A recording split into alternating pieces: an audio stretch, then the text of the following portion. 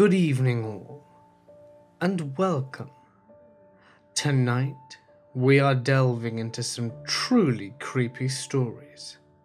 I hope you're ready, because it's time to get comfortable and let the darkness take control. Years ago, when I was in jail, I used to pray every night.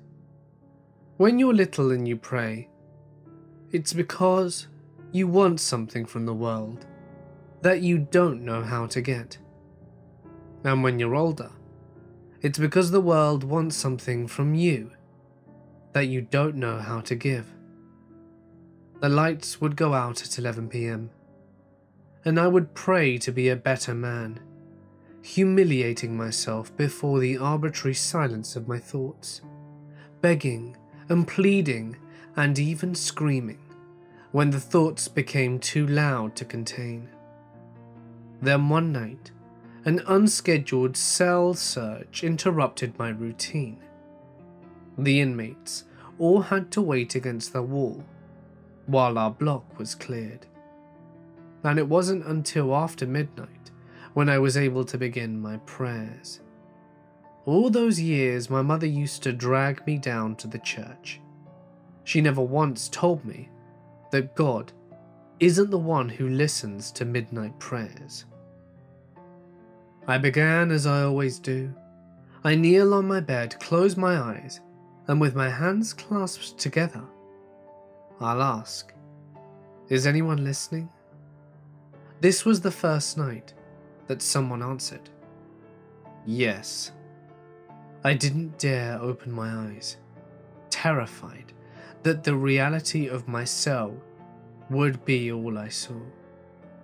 The voice was soft, patient, and infinitely sad, as though it had seen and heard more than its heart could bear, but had such respect for the suffering that it stoically refused to turn away. I'm afraid, I said, because I knew at once that I could not lie to such a voice. I'm afraid that I'm going to die in here, that the world has decided who I am because of one mistake, and that there's nothing I'll ever be able to do to convince them otherwise. You are right to be afraid. You will die in this cell, the voice said. My whole body went tense. For a moment, I thought I was talking to a guard who was trying to screw with me. But the calm certainty of the voice was enough for me to keep my eyes closed and believe. If I couldn't have faith here and now, what hope did I ever have? But that doesn't mean that this is the end. Your body has been branded and discarded, the voice continued. Do not waste any more time trying to save what is already lost. My soul, then. Your soul is hungry to keep living, and this is how you must feed it. Find and kill a human, and then take your own life. When these eyes close for the last time, the eyes of your victim will open and you will be looking out. The strain to look at my saviour was excruciating, but some instinctual terror forbade me. Either I would look upon some unspeakable abomination and be forced to abandon my hope of a new life, or I'd see some impostor and know it to be a lie.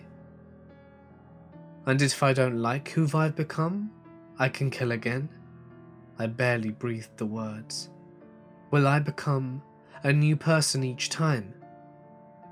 As many times as you like, purred the presence.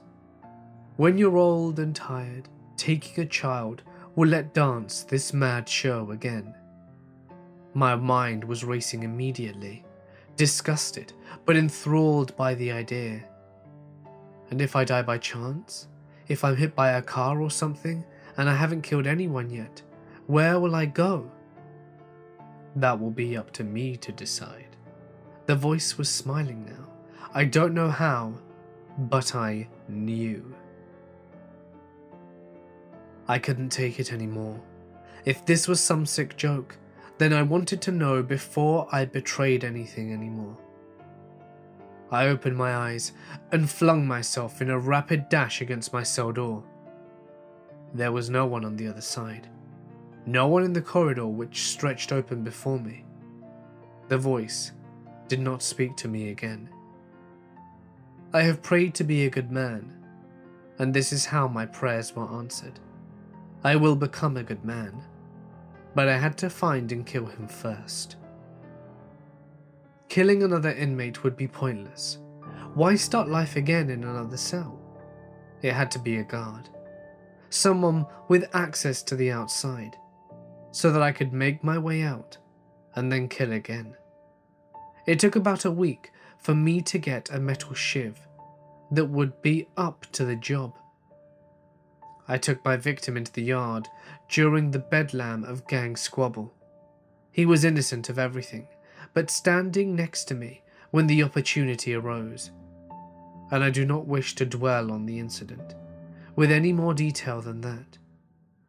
Only had a few seconds before the other guards tackled me, but it was enough to force the shiv into my own heart. And the light bled from me, and the pain dissolved into oblivion. I prayed again for forgiveness. No answer came, but the welcome darkness.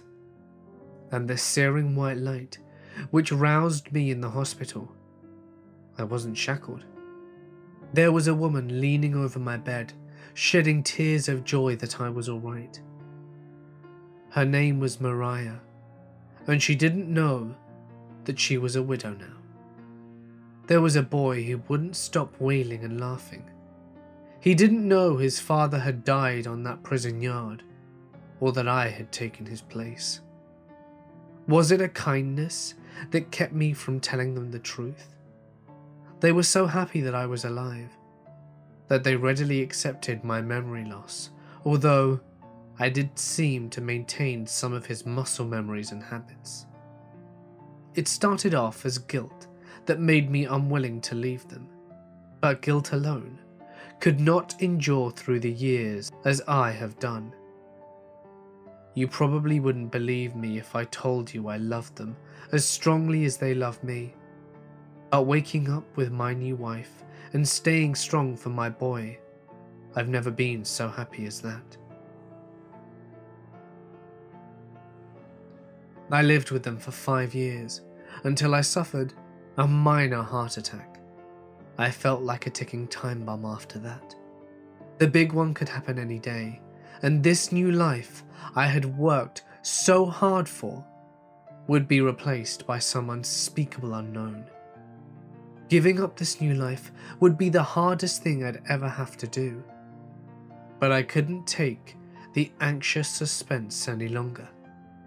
It was time to kill again, and again, and again. I wouldn't let myself get tied down like that again. That one was famous, or another had a better house, or a hotter wife. The lives were a blur, fading in and out so quickly that I became everyone and yet no one. It turns out killing people is quite easy. It's not getting caught that's hard but since I always sacrificed my own life in the same moment, getting caught was never an issue. I wanted to experience everything that life had to offer.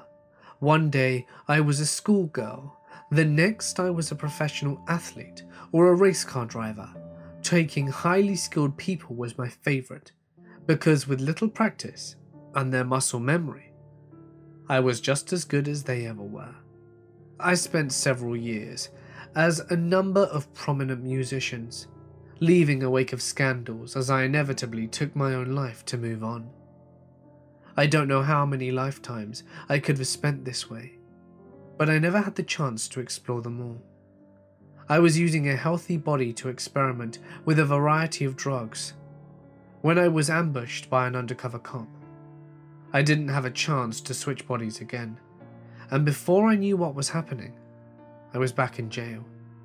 It was a minor possession charge, and I had plenty of money hidden away for bail, so I didn't make any fuss. The point is, that I saw her again at the station. Mariah was dating again.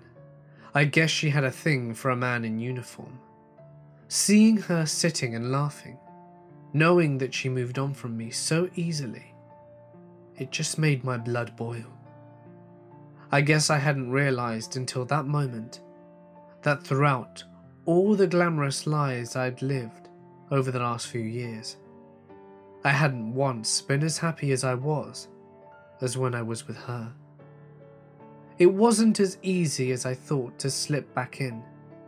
I killed her new boyfriend without trouble, but she didn't stay with me long. It was as though she noticed the change right away, dumping me almost as soon as I stepped foot in her house. It took two more bodies trying to seduce her, only to be turned away each time. Frustrated, I consented to bide my time, waiting until she began dating again, so that I could replace him and have her. Three boyfriends later, the same story each time. I killed each of them, only to be rejected the moment I appeared in their body. It seemed as though she could sense my presence somehow, but each time she turned me away. I only wanted her more. It didn't help that she was becoming unstable. I hadn't counted on how psychologically devastating it must be to continue dating new people and yet sense that they are all the same. She practically stopped going outside altogether, and I was going crazy trying to figure out how to reach her. You don't know how much it hurt me to tell you what happened next. This is my confession, and before God, and the man and otherwise, I wish my sins to be known. There was one person in her life that Mariah would never abandon, and children are always the easiest of targets. I caught him leaving school one day. He's been taking the bus since his mum started locking herself in.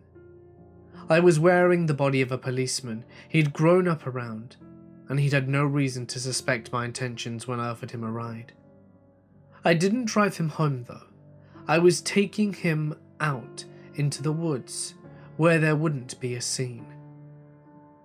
Trying to get close to Mariah through her son might seem strange to you, but after living so many lives, I wasn't encumbered with such artificial distractions as romance or maternal love.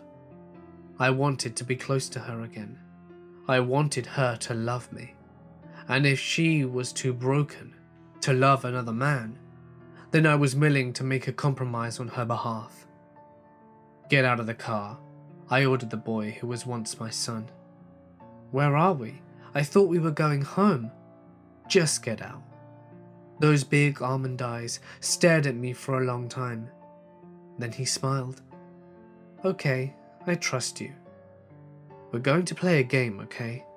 I've got out of the car with him. My hand was cramping up from flexing beside my gun. Okay, close your eyes. Okay. Don't open them. Promise me. Okay, Dad. He closed his eyes. My blood froze. Why'd you call me that? I asked. Sorry. His little brow furrowed in deep thought. I don't know. It's just that you smell like him. Only I don't feel it in my nose. Where do you feel it? The boy crossed his heart, still clenching his eyes shut. I slid my gun back into its holster. The game goes like this you count to a 100 while I hide. When you open your eyes, you have to find me. Ready? Ready. When we finished playing, I told him to get back in the car and we drove back to his home. I didn't go in to see Mariah, I just dropped him off and didn't look back. No matter what happens from this moment on, I know this life is going to be my last. I know it doesn't mean much, but for what it's worth, I'm staying on as a cop. I'm going to protect that boy and his mother for the rest of my life. And when chance or old age takes me at last, I'll deserve whatever happens to me next.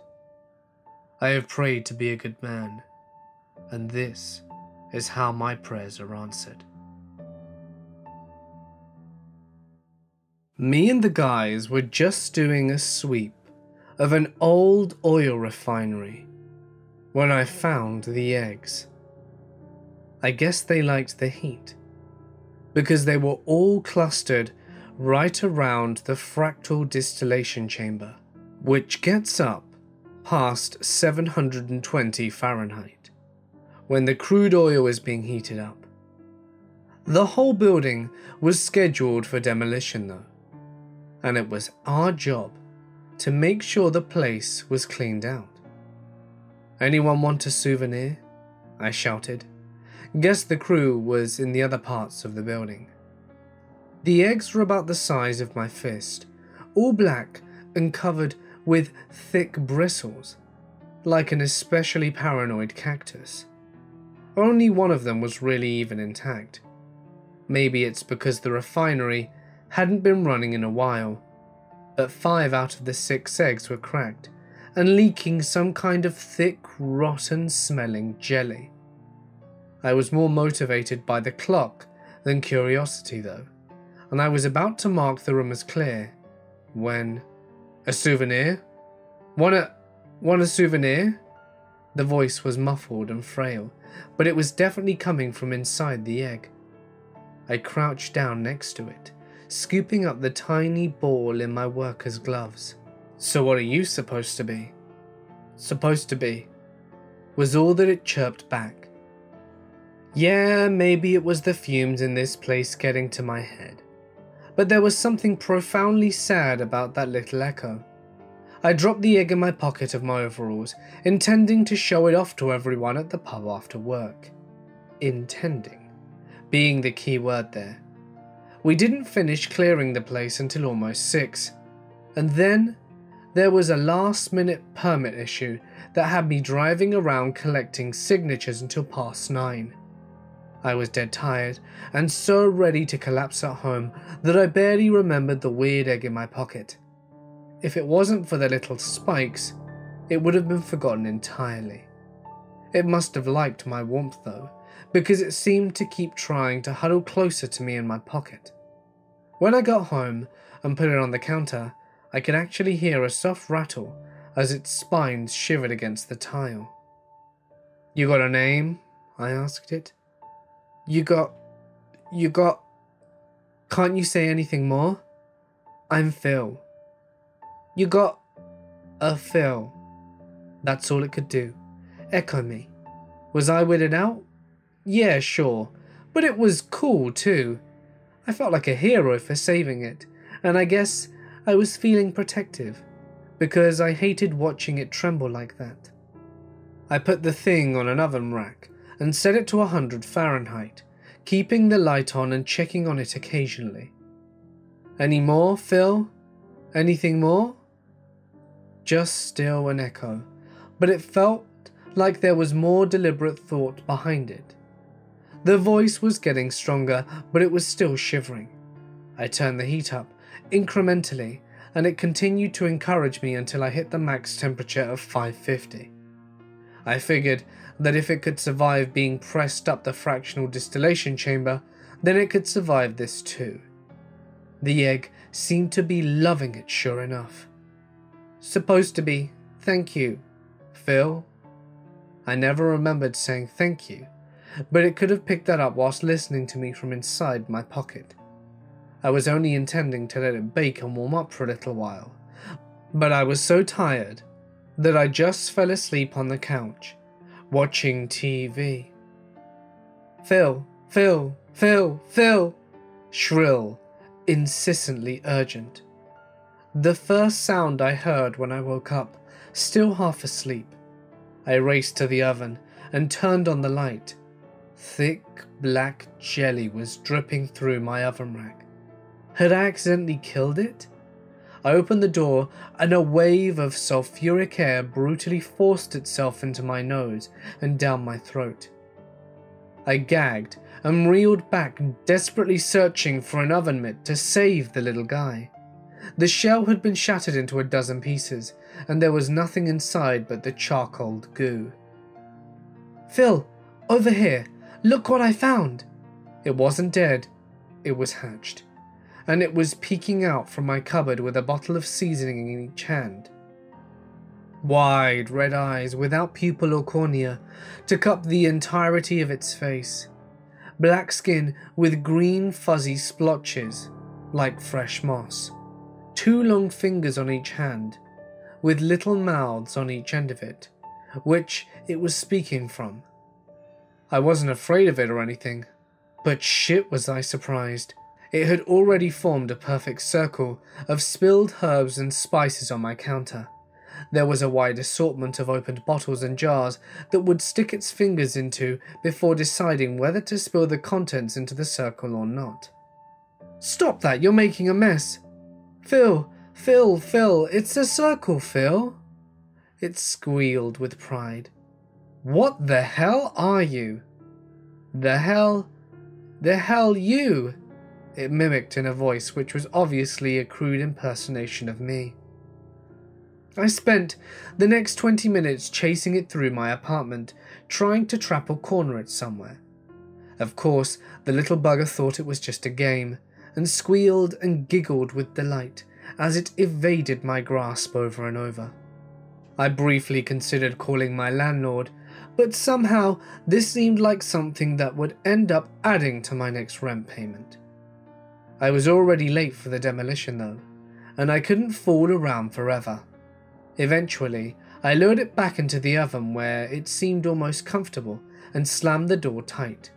I used a bike lock to secure the oven shut and cranked the heat down to 220 and left for work. I was worried about leaving that thing in my apartment all morning, but I managed to sneak off on my lunch break, race home, and check on it. Just seeing that my building hadn't burned down or anything was a bigger relief than I realized. Then there was a palpable tension as I opened my door, half expecting my place to be torn to shreds. Everything was exactly as I'd left it, even the oven was still closed. Although, the bike lock was on the ground and it had been turned back up to 550. I took a deep breath and turned on the oven light. Jumping back, I saw the wide red eyes blinking in sluggish contentment on the other side of the glass. No harm done. I fastened the lock back on, this time pushing a heavy recliner to block the door as well. Imagine my surprise when I saw the creature hiding under the chair I was moving, or the bump from inside the cupboards, or the squealing giggles coming from my bedroom. I counted at least six of them before my lunch break was over, and the more I searched, the more circles I began to find. On the carpet, in the closet, on top of the TV, little circles of herbs and spices. And when they ran out of those, they improvised with whatever they could get their hands on. Mustard, mayonnaise, crumbled chips. There must have been a hundred circles in my place. Meanwhile, my phone was ringing every five minutes. The demolition crew yelling at me, wondering where I was. I couldn't leave them in here. God knows what they get up to. I couldn't stay to watch them either, though. I just opened a window and did my best to chase as many of them out as I could. They seemed bigger than they were this morning, almost the size of my head now, and their strong fingers had no trouble scaling down the brick building to escape. Anything more, Phil? Perhaps that was the original one, but I couldn't tell for sure.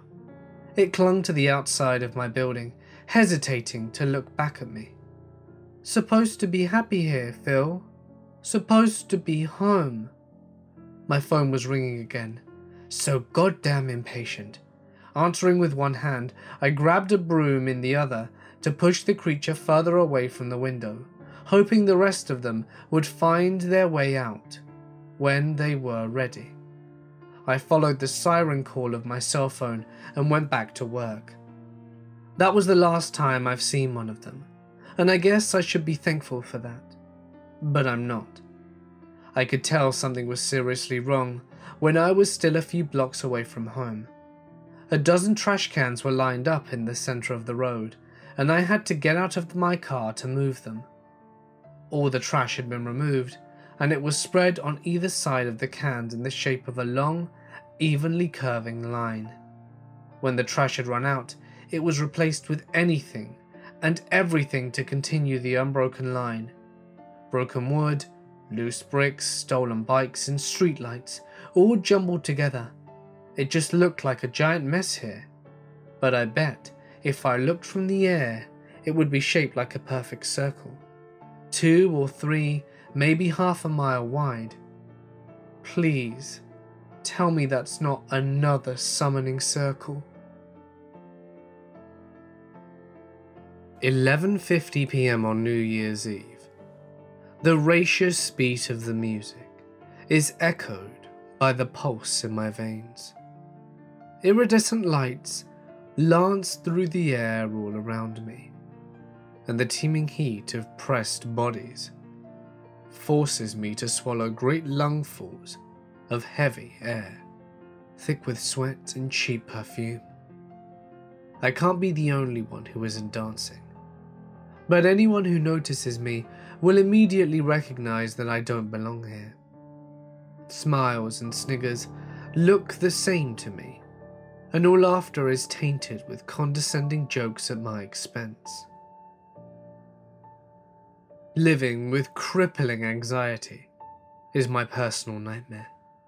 Just trying to start a conversation with someone feels like standing on the roof of a tall building. One little push, and I'm free. The clenching knot in my stomach has frozen me in place.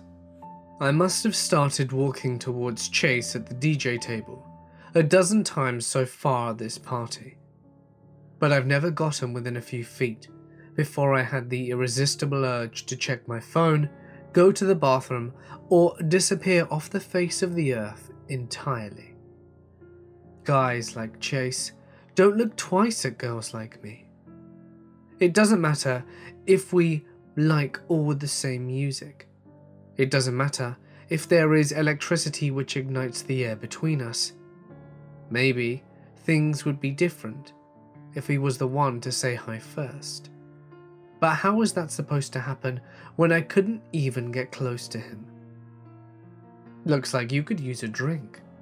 I don't understand how I heard the words so clearly over the pounding music, but I didn't turn to the barman. Maybe if he thought I didn't hear them, he'd give up and leave me alone. Maybe too. What's your poison? He insisted. I don't drink. I dismissed him over my shoulder. You mean you didn't used to drink? I finally turned to see an elderly man with a closely groomed grey beard and a vest which fits so closely that it might as well have been sewn onto his skin. His dark eyes drilled into me with undistinguished fascination. You didn't used to do a lot of things, he continued. There was a time you'd never walked before, but then you started, and you haven't stopped since. Now it would be silly to say you don't walk, wouldn't it? You aren't even the same person who couldn't walk anymore. What do you mean, not the same person? A sudden lull in the music was punctured by Chase's voice on the loudspeaker. Five minutes to midnight, who's ready to burn the rest of the year? He was answered by an overwhelming cheer, but the old man's words still clearly punctured the chaos. I mean, you're remembering someone else's memories. Next year, you'll be new again, and then you'll remember all the memories you have now and think that they're yours. You'll have all the same habits, be afraid of all the same things because you think that's who you're supposed to be. But it's not. The new you will have to decide for herself whether she wants to keep copying a failing strategy or learn from it and try something else. I don't have a failing strategy, you don't even know me. How could I? He replied promptly. You're a blank slate tonight. Even you don't know you yet. So how about that drink? I nodded, not fully understanding why. He spoke with such a simple surety that I couldn't muster anything to refute him. The barman pulled a purple bottle from under the shelf and spun it deftly between his hands. A fountain of thick, rich liquid, like cough syrup, sprouted into a perfectly placed mug, which I hadn't noticed a moment before. What is it? Just what you need. Cheers. He poured a second glass for himself and toasted me. May we make room for new growth by pruning the dead branches, and may we leave what's dead behind. I took a long drink, forcing myself not to gag as the thick liquid dribbled down my throat like oil. He finished first, slamming his glass upon the table and wiping his beard with the back of his hand. Before I had a chance to finish mine, the barman added, Those who die a little each night will never feel the pain of those who go all at once. You're the lucky ones. Huh? I wiped the last of the thick residue from my mouth. It's almost midnight. Are you ready to let the old you die? Almost midnight. I was running out of time. I felt a certain tranquility while walking towards the DJ table. The old me would have turned away by now, but I didn't slow down even when Chase looked right at me. The electricity wasn't a barrier anymore. It was charging me, an exhilarating fuel which propelled me through the churning dance floor. I even allowed myself to step in time with the music, bobbing and swaying with the mesmerizing beat. It almost felt like I was flying, until suddenly I was close enough to finally say, Hey Chase. My wildest paranoia couldn't have prepared me for his reaction. Glancing up from his computer, Chase's face contorted into a horrified caricature of his self assurance. He lurched out his chair so fast that it tumbled over backwards. I rushed to help him, but that only made him kick the chair in my direction and scramble across the floor. The music was deafening this close to the speakers, but it wasn't enough to completely drown out the grotesque retching as he vomited on the floor. Through the beat, I could still clearly hear the wailing sob rising in my throat as I sprinted away from him and turned to the bathroom. I couldn't understand what happened until the burning began. My fingers gingerly grazed the swiftly swelling lumps on my face. I covered myself with my hands as I ran brutally shoving my way through the crowd and then slamming through the bathroom door. A girl in a black sequence party dress dropped her makeup and screamed.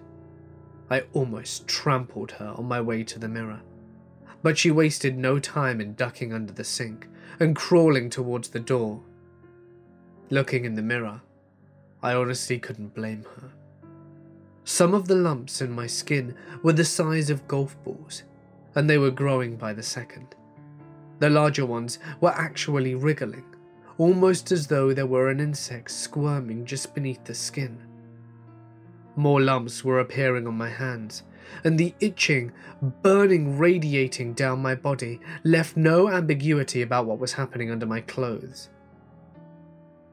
I would have screamed if my tongue weren't swelling too, but it was all I could do. Just try to keep my airway clear. Then the first boil popped, and I couldn't contain the howl which ripped from my lungs.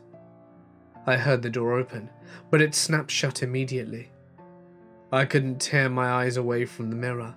More boils were rupturing by the second, splattering the glass with thick purple syrup, which clung on like long strands of mucus.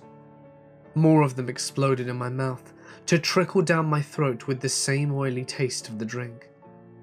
My hair was sliding from my scalp in great clumps, matted and greased with the bubbling purple liquid. The only thing which kept me from completely losing my mind was the sight of fresh pink skin which shone beneath the savage gashes in my face. The burn was growing more intense by the second, but each exploding boil revealed more healthy skin below it. I started ripping at the tattered shreds, peeling them and dumping them in a soggy pile around my feet. Beneath all the skin that was falling off, I didn't even recognize myself. My new skin was lighter and clearer, and the new hair which sprouted was a short ruffled blonde that was nothing like the long dark hair which lay in clumps around my feet. Nothing was the least recognizable, except my eyes, which were stretched wide with a familiar anxious terror. What the hell? Chase must have been following me into the bathroom, as those were the words that exited his mouth. How long had he been watching? Long enough. I stepped away from the wet pile of old flesh that littered the ground. My clothes were still soaked in the liquid, though, and more chunks continued to rain out my dress and down my legs. He looked like he was about to vomit again. Hey, Chase, I want to try something. Come here. He didn't move, but he didn't have to. I crossed the space between us more quickly than I thought possible, and all at once our faces were inches apart. But he didn't turn away. Outside, I could hear the countdown towards midnight. Five. I pressed my finger to his lips to silence the budding question. Four. I cupped his head in my hands and drew him towards me. Three. I felt his hard lips soften against mine. Two. The taste of his sweat as my mouth made its way down his neck. One. The squirt of blood through my teeth as they sank into his flesh. He was thrashing now, but each movement just forced my jaw to tighten until I could feel the first vertebra crunch under the pressure. All the shouts of Happy New Year drowned out his terminal scream, which strangled to a whisper when his trachea collapsed.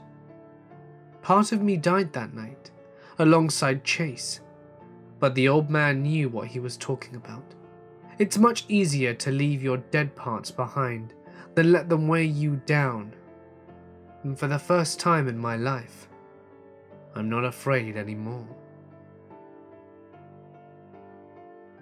The devil is known for his patience. He will see a ripening sin in our youth and wait all the long years of our life before the harvest. And why shouldn't he?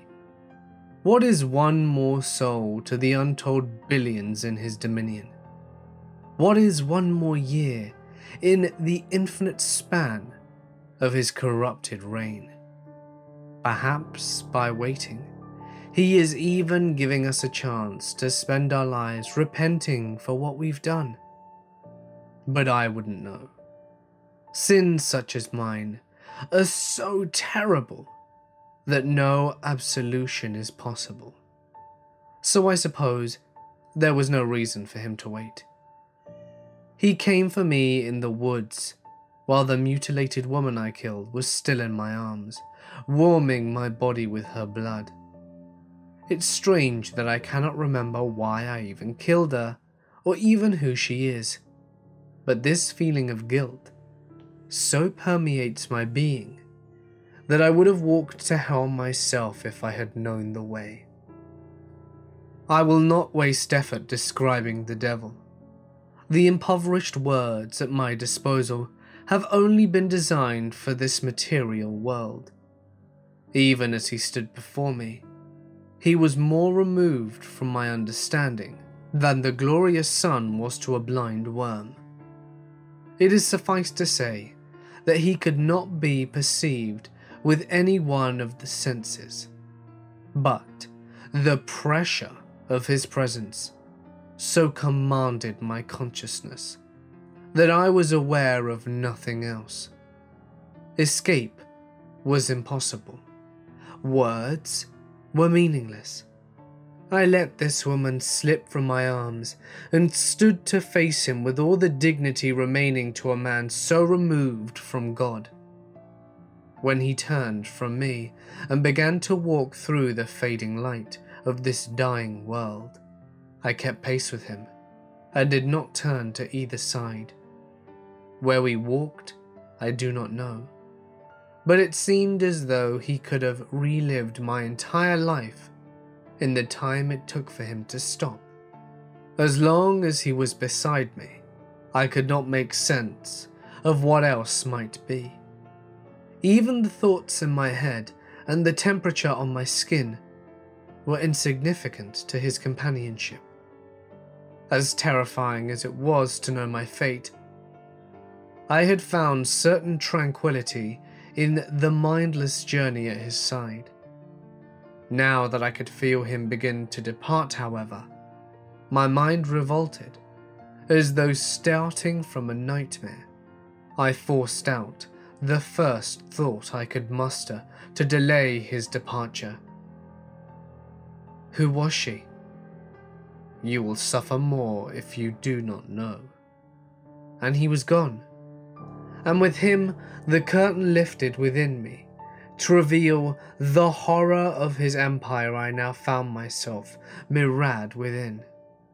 Perhaps it would be more accurate to call hell a person than a place, however, considering the unceasing sentient screams which pummeled me from the land itself.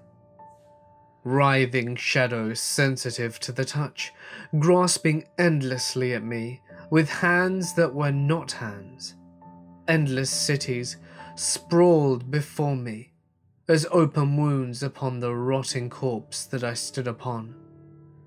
The sky was unobstructed by stars.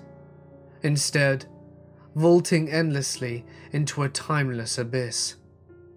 And looking at it, I experienced the ghastly sensation of balancing on an eroding precipice, which poised to tumble me endlessly into its yawning void. Charnel winds slithered their way into my nose and mouth with tangible substance, forcing me to let oiled coils like writhing serpents penetrate my lungs with each breath. Beyond the cities in the distance rose the obscured ghost of monstrous beings and gods who roared in endless decay, which fate had forgotten them to. Through this blasphemous temple to the end of the universe I went, cowed constantly by half conceived winged terrors, which beat the air with a sound like the ceaseless wet bludgeoning of fists on flesh.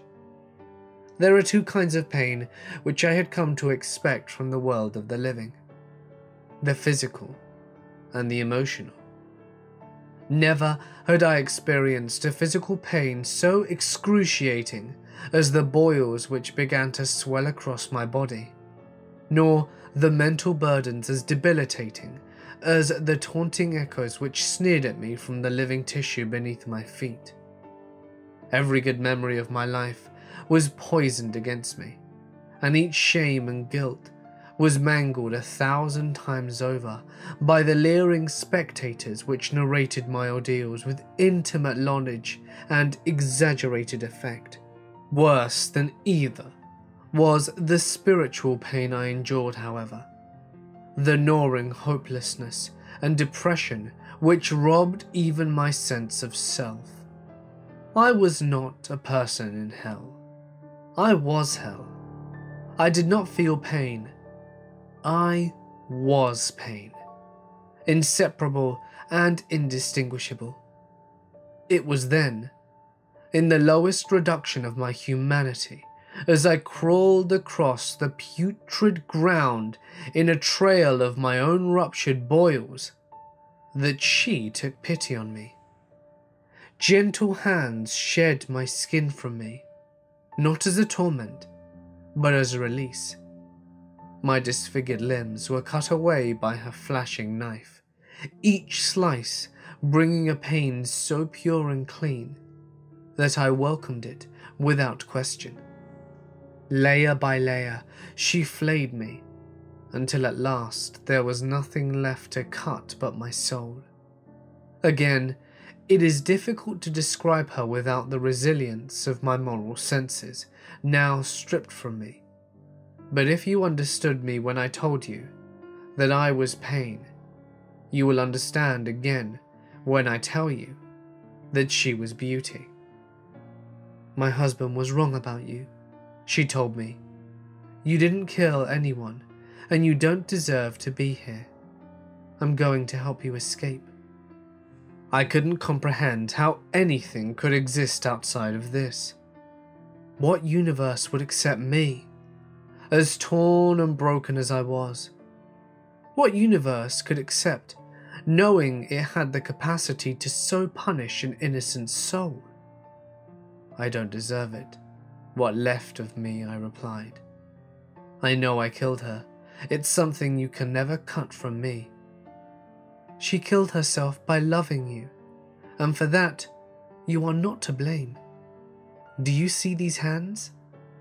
When she cupped my hands in her own, I knew she was creating them as she spoke. Clean, strong hands, untouched by the blemishes of hell.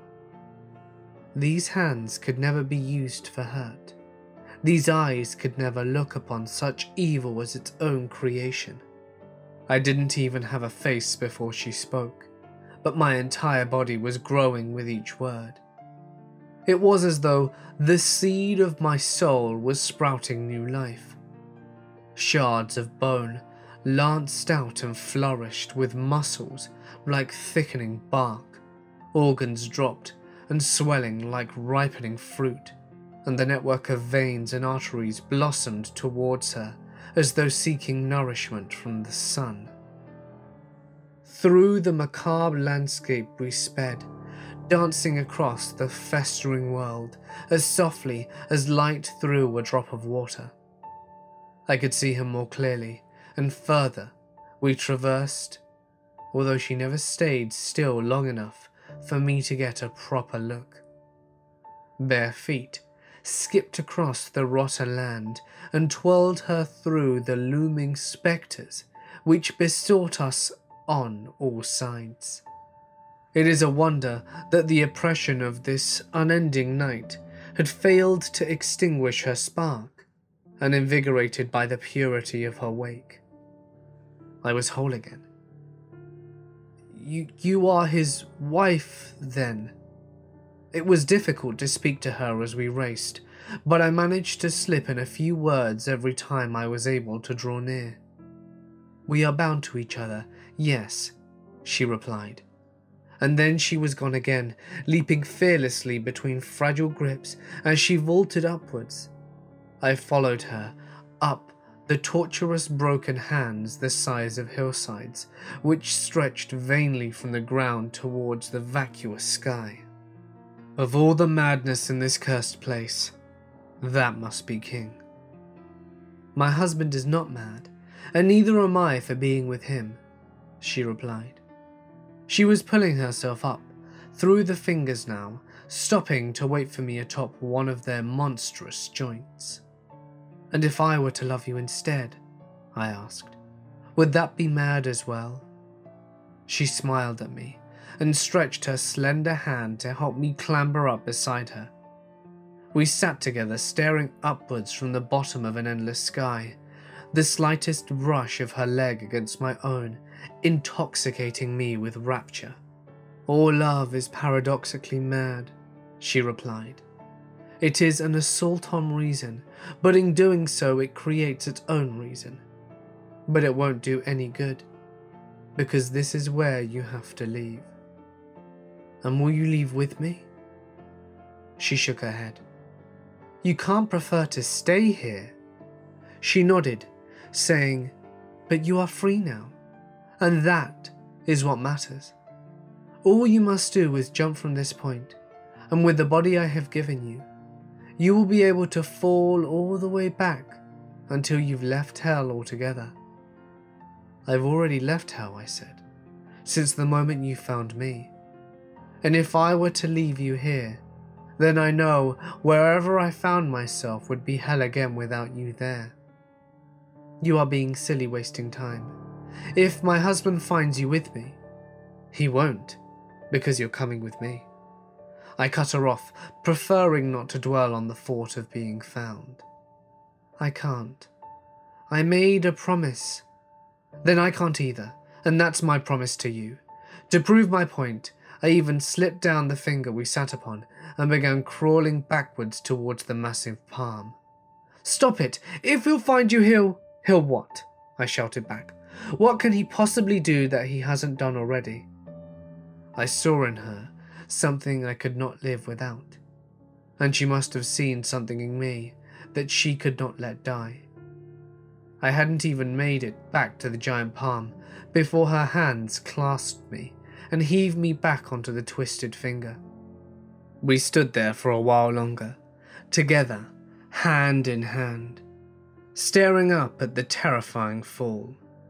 Then the wet bludgeoning drums of the winged creatures began, and I could feel the tension wash through her body.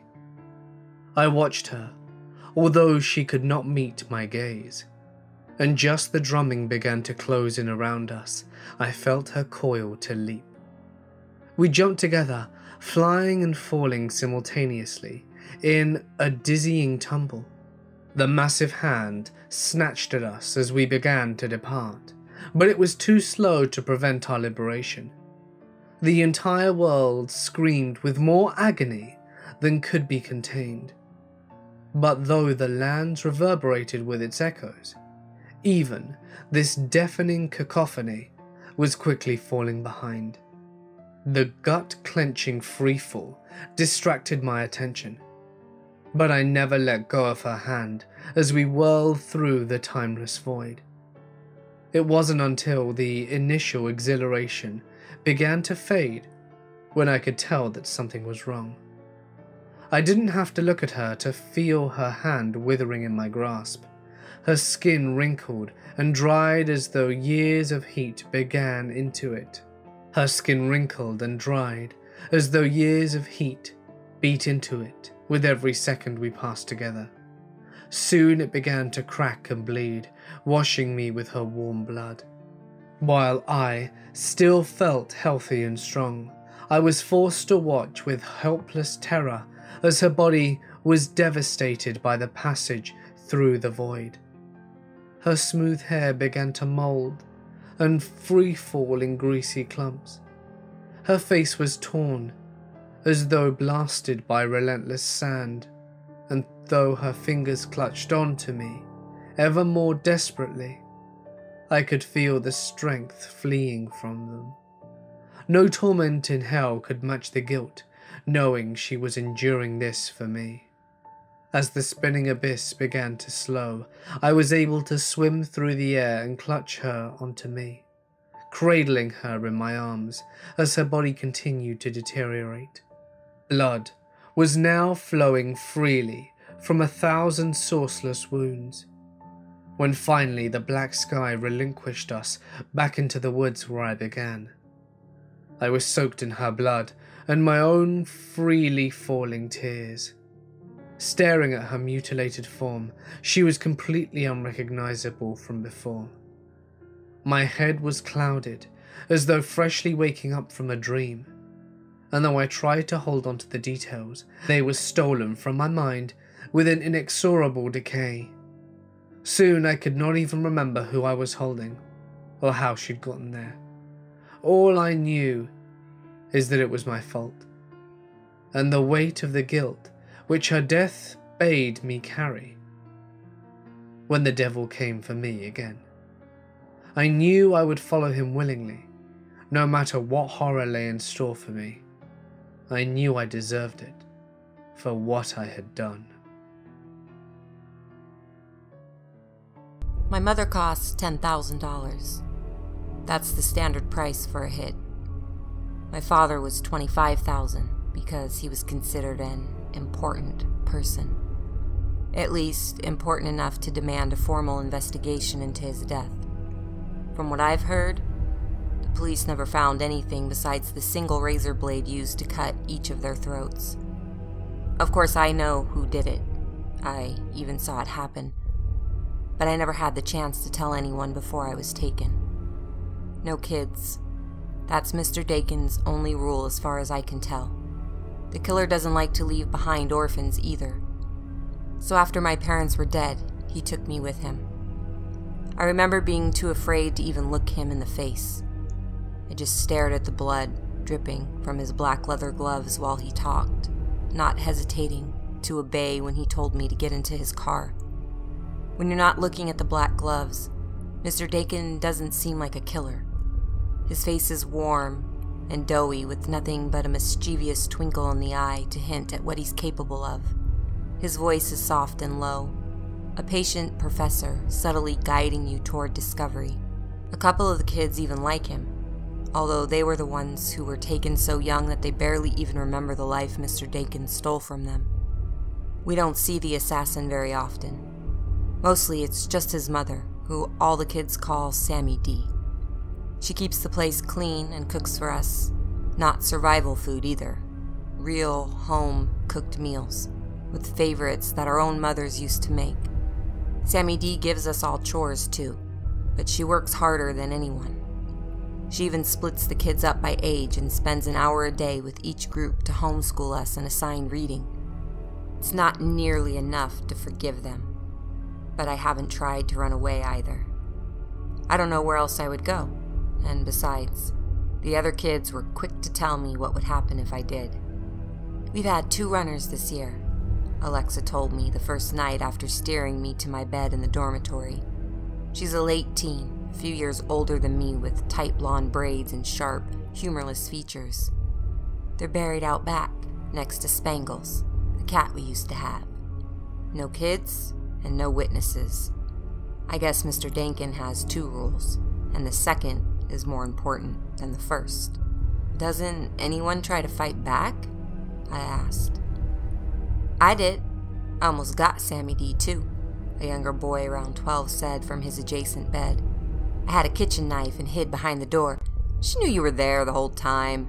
Another boy, probably the older brother, considering they both sported the same mass of unruly brown hair.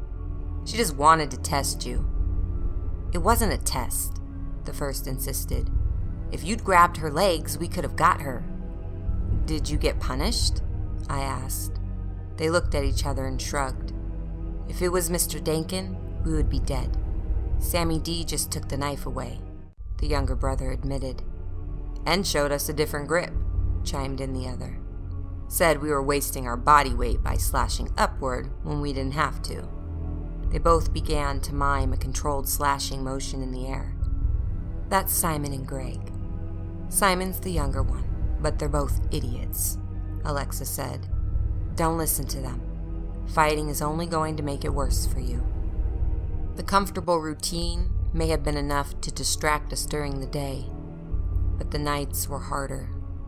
The darkness would blur the unfamiliar room into ghastly, shuddering specters. The heavy silence did nothing to distract each of us from reliving our private nightmares. And I grew accustomed to falling asleep listening to the muffled sobs of those who couldn't drown out the sound with their pillow. I almost wished we were treated worse, that we were beaten or forced to work to destroy this facade of a family that Sammy D tried to shove down our throats. I didn't want to wait so long that I became indoctrinated into complacency like the others, though, so I knew I had to act. I tried rat poison the first time. I mixed it in the brownie batter to disguise the taste and warned all the other kids so they'd stay away from it. Sammy D figured it out somehow, though. She threw away the whole batch before Mr. Dakin even came home. All she said was, You better think hard about who your friends are before you try something like that again. Try something like that again. It wasn't a warning, it was an invitation. I didn't sleep much the next few nights. I found a vent which opened into the AC ducts, but Simon was the only one small enough to climb around. I kept watch for Sammy D while Simon explored until he found the place directly above the kitchen. There was a heavy iron light fixture that I thought we could drop on someone, but it was screwed into place so tight that Simon couldn't find a way to budge it. I Think I heard a wild animal skittering around the crawl space last night, Sammy D said the next morning while laying out plates of scrambled eggs. Yeah, I guess, I said. No one looked up from their plates. I just hope he's smart enough not to be crawling around when my son is here, she added innocently. We're running out of space in the backyard. Nobody had anything to say to that. Not until that night when we all started arguing.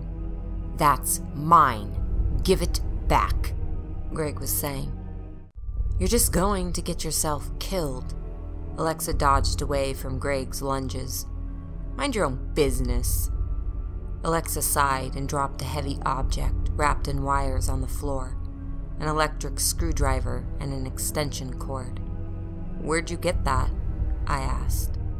Sammy D must have left it here, Greg said. Simon was already unrolling the cable to measure out how long it would stretch. If she knows, then Mr. Dakin knows, Alexa snapped. It's just another test, and you're going to get killed if you try something. She never told Mr. Dakin about the rat poison, I said. Or if she did, he didn't do anything about it. Well, if she doesn't tell him, then I. Alexa caught herself mid sentence. Simon and Greg were so busy with the drill that they didn't seem to notice. Alexa caught me staring, though, and she dragged me aside to whisper in my ear I can't reason with them, but I need you on my side. If we don't warn Mr. Dakin, then he's going to. Not if he's dead. You can't be serious about this. After everything they've done for us? Alexa coughed and looked away. She must have become aware that the brothers were staring. As she was pulling back, she muttered, He's going to know, and you're going to be sorry. This wasn't the first time someone tried to kill Mr. Dakin or his mother, but they always seemed to know about it beforehand. It wasn't Sammy D who was telling him, though. If anything, she seemed to be helping us. It was Alexa. She was the one foiling the plans, and if any of us were ever going to get out of here, then we'd have to account for that.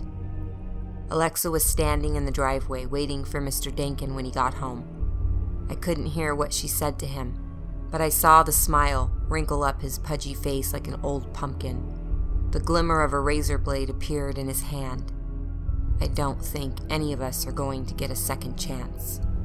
Sammy D was waiting in the doorway.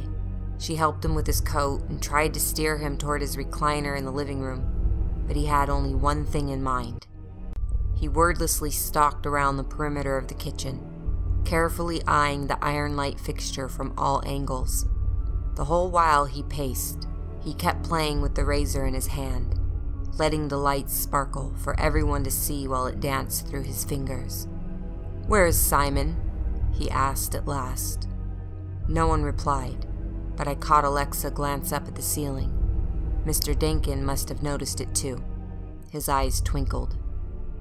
Don't bother coming out, Simon. The hunt is my favorite part, he called.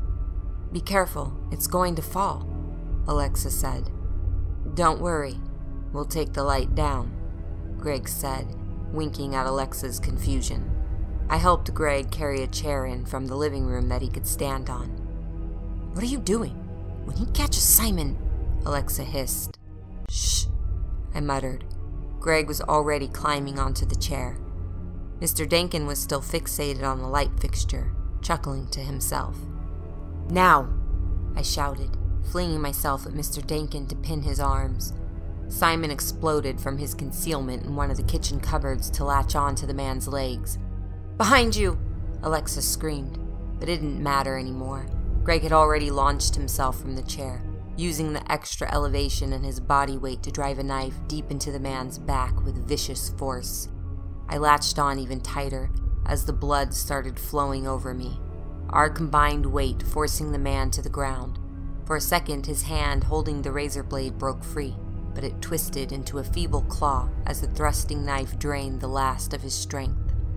It only took a few seconds before the rest of the children joined in, stomping, kicking, scratching, biting, all piling on top of the man who killed their parents, tearing him to pieces like a hundred years of decay condensed into a second. What about Sammy D? Alexa was screaming. Who do you think gave him the knife? Sammy D asked, leaning in the doorway. But he's your son, Alexa wailed. He's my assassin, she corrected. Mr. Dakin wasn't moving anymore. One by one, the kids pulled themselves off the body, some giving a few more swift kicks as they parted. But I only lost one assassin, Sammy D said. And look how many new ones I have now. We were all frozen in place, trying to read all the other blank faces in the room. Sammy D fished inside her purse and pulled out several large wads of cash wrapped neatly in rubber bands. $20,000 because he was dangerous. That was your first job, she said. You have a family here, after all, a home, a way to make money and even help people if you choose the right targets. The first one is the hardest, but after that, it's just practice. I want all of you to clean this mess up and wash up before dinner. Training begins for real tomorrow. She left the cash on the ground, but none of us followed her. The thrill of the kill was still hot in our blood. Could I do it again? Almost definitely. From this day on, I was a killer no matter what else I did besides. No kids, though. You've got to draw the line somewhere. Sammy D taught us that there are three distinct ways to kill someone. The first is a murder of opportunity. The victim is alone on a dark night, or is blackout drunk, or some other circumstantial convenience which makes it the right time to act. Then there is the assassination, the calculated and premeditated kill which we will be training for. Finally, there is the murder of passion, when the blood boils too hot and we allow rage or hatred to force our hand. This is the most risky way to kill someone, both physically in the moment and regarding future forensic investigations, and it is strictly forbidden to us. I don't think there exists a term to describe exactly how Mr. Dakin died. The premeditation was inherent, as was the opportunity of his distraction, but neither compares with the utter brutality of his execution. I noticed when we were burying the body that the knife wounds in his back were surprisingly superficial. I think it was the shock, more than anything, which toppled him over. The actual cause of death? The lacerations of a dozen children skinning him alive with fists, nails, teeth, kitchen utensils, and anything else we could get our hands on. And of all of us who shredded him like a pack of wild dogs, none did so with more ferociousness, more glee, or more hunger than a small boy named Maker. I'd barely even noticed Maker during my first few days at the house. He was only 10 years old, seeming even younger because of his diminutive, almost emaciated frame. He never spoke without prompting, and his rare answers would be muttered with the volume and assurance of a self conscious mouse. I hadn't counted on his help during the actual killing, but the moment Mr. Dakin had dropped to the ground, Maker had transformed into something new altogether. Even long after the man was dead, it took three of us to pry open the Maker's jaw from around the assassin's throat and dragged the boy into the living room so he wouldn't disturb the burial. Hope I'm not paired up with that little demon, Greg had said during our first physical training session. I swear, he just licked his lips when Sammy D was talking about safe words. Shut up. You have no idea what he must have gone through to act like that, Alexa scolded him. What are you even doing here? Greg shot back. I figured you'd be ratting us all out to the police by now. I nudged Greg hard. Sammy D was waiting for us to be quiet with her arms crossed. She may look like a babushka with her short gray hair tied back in a handkerchief, but she made disarming and pinning someone look like a ballet. Sammy D let the silence drag out for a few more excruciating seconds before she turned back to the chalkboard with its grotesquely detailed drawing of the human anatomy. Trust me, if I had somewhere else to go, I'd be there. Alexa couldn't resist whispering back. Bullshit, Greg mumbled. Weren't your parents hotshot musicians or something? You're probably loaded. Alexa didn't need to answer. The angle of her glare from under her brow spoke volumes. Greg and Simon. Sammy D. barked. You're up first. Let's see those stances. We didn't get to the actual combat training until after dinner. Sammy D says that if your victim is fighting back, then you've already failed. Her teachings focused more on concealment, tracking, the preparation of poisons, and accuracy with projectiles. As long as she was teaching the theoretical stuff, it just felt like the coolest class I've ever taken in my life. The illusion couldn't last, though. Once the fighting started, it was impossible to ignore the deadly purpose that we were approaching every day. I was paired off against Maker. I asked to switch since he's over five years younger than me, but Sammy D just said, The most difficult blows to strike are against those weaker than us. I think she was just placating my ego, though, because there was nothing weak about going up against Maker. How am I supposed to hit him? He's not even in the right stance, I protested. Then teach him why he's wrong, she said. But what if he goes psycho and makes up all his own stuff? Then he'll teach you why you're wrong. Maker didn't exactly jump at me. Jumping would imply pushing off from something, and I'm not positive his feet never touched the ground. Before I knew what was happening, he was crawling all over me, raking my face with his fingers, grabbing my hair, digging his knee into my back. I don't understand how Sammy D thought this was okay. She talked a big game about calculating approaches and precise controlled motions, but she just stared and smiled while that wild thing pummeled me from all sides.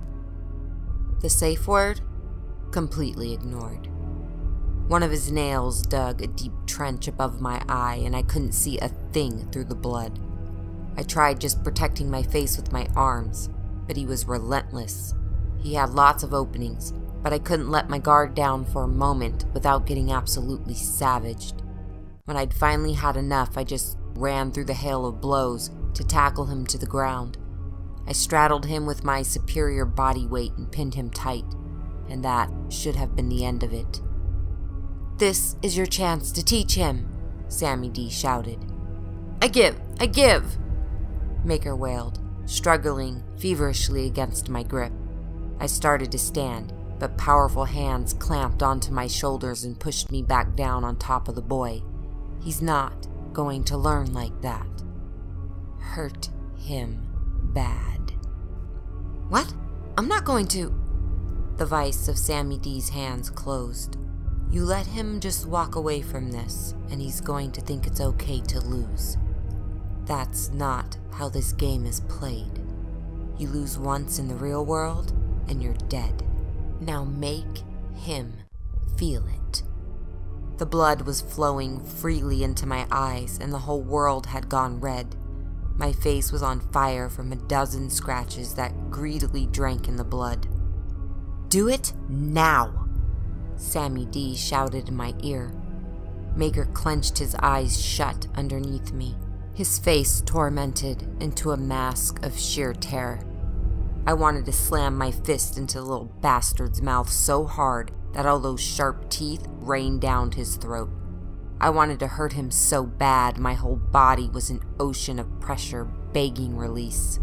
Maker wasn't a criminal mastermind or a killer, though. He was a frightened little boy who only knew one way to survive.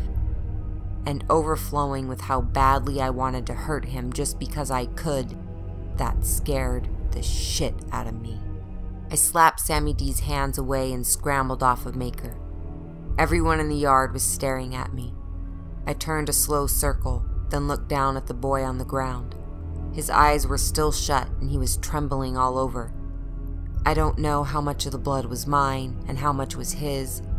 Then, at Sammy D, her hands and her hips scowling at me like she'd just caught me breaking a promise to her. This isn't who I am. This isn't who any of these kids are. But it's what they'll become if they stay. I turned and ran, half expecting a bullet or a tripwire or something to spin me to the ground before I'd taken a dozen steps. Not a word or sound behind me, not even the footfalls of a pursuer. I was free. I waited about ten minutes to catch my breath and let my head clear. Then I circled around to the front of the house. I heard the shouts from the other people still in the yard, so I guess the rest of them were still training. I slipped up to the dormitory to take my share of the $20,000 I had stuffed under my mattress. That's all I needed to start a new life. I sure as hell didn't need this. She gave us our first mission. I practically jumped out of my skin at the voice. It was Alexa, sitting on her bed in the dark. I ignored her and moved to retrieve my money. Maker took it. He volunteered. Alexa added. You can just leave with me, I said. Alexa shook her head. I volunteered too. Why?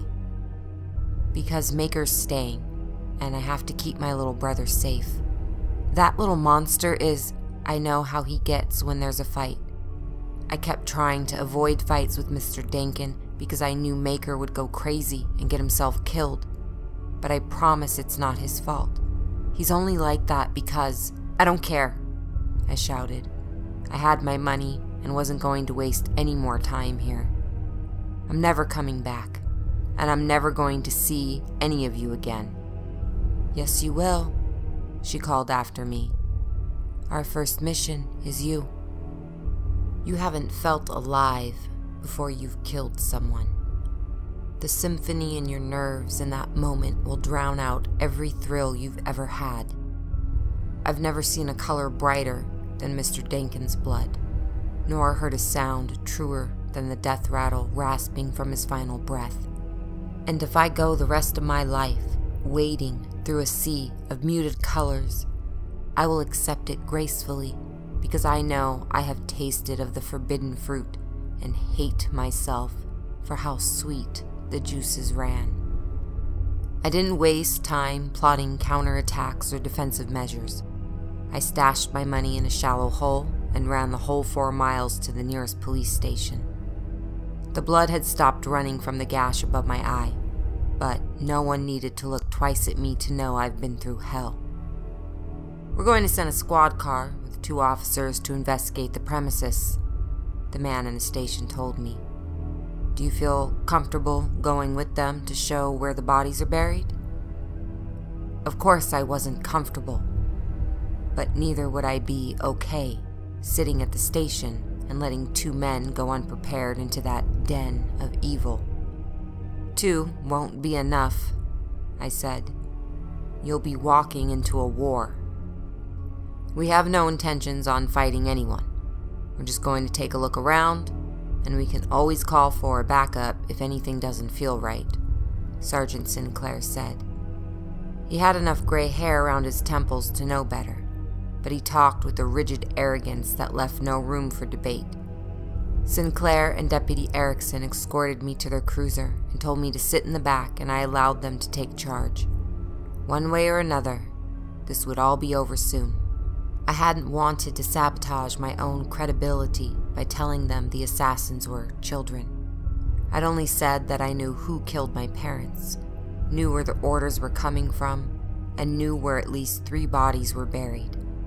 I didn't work up the courage to tell them more until we were already parked outside Sammy D's house. She brainwashes people, I splurted without context.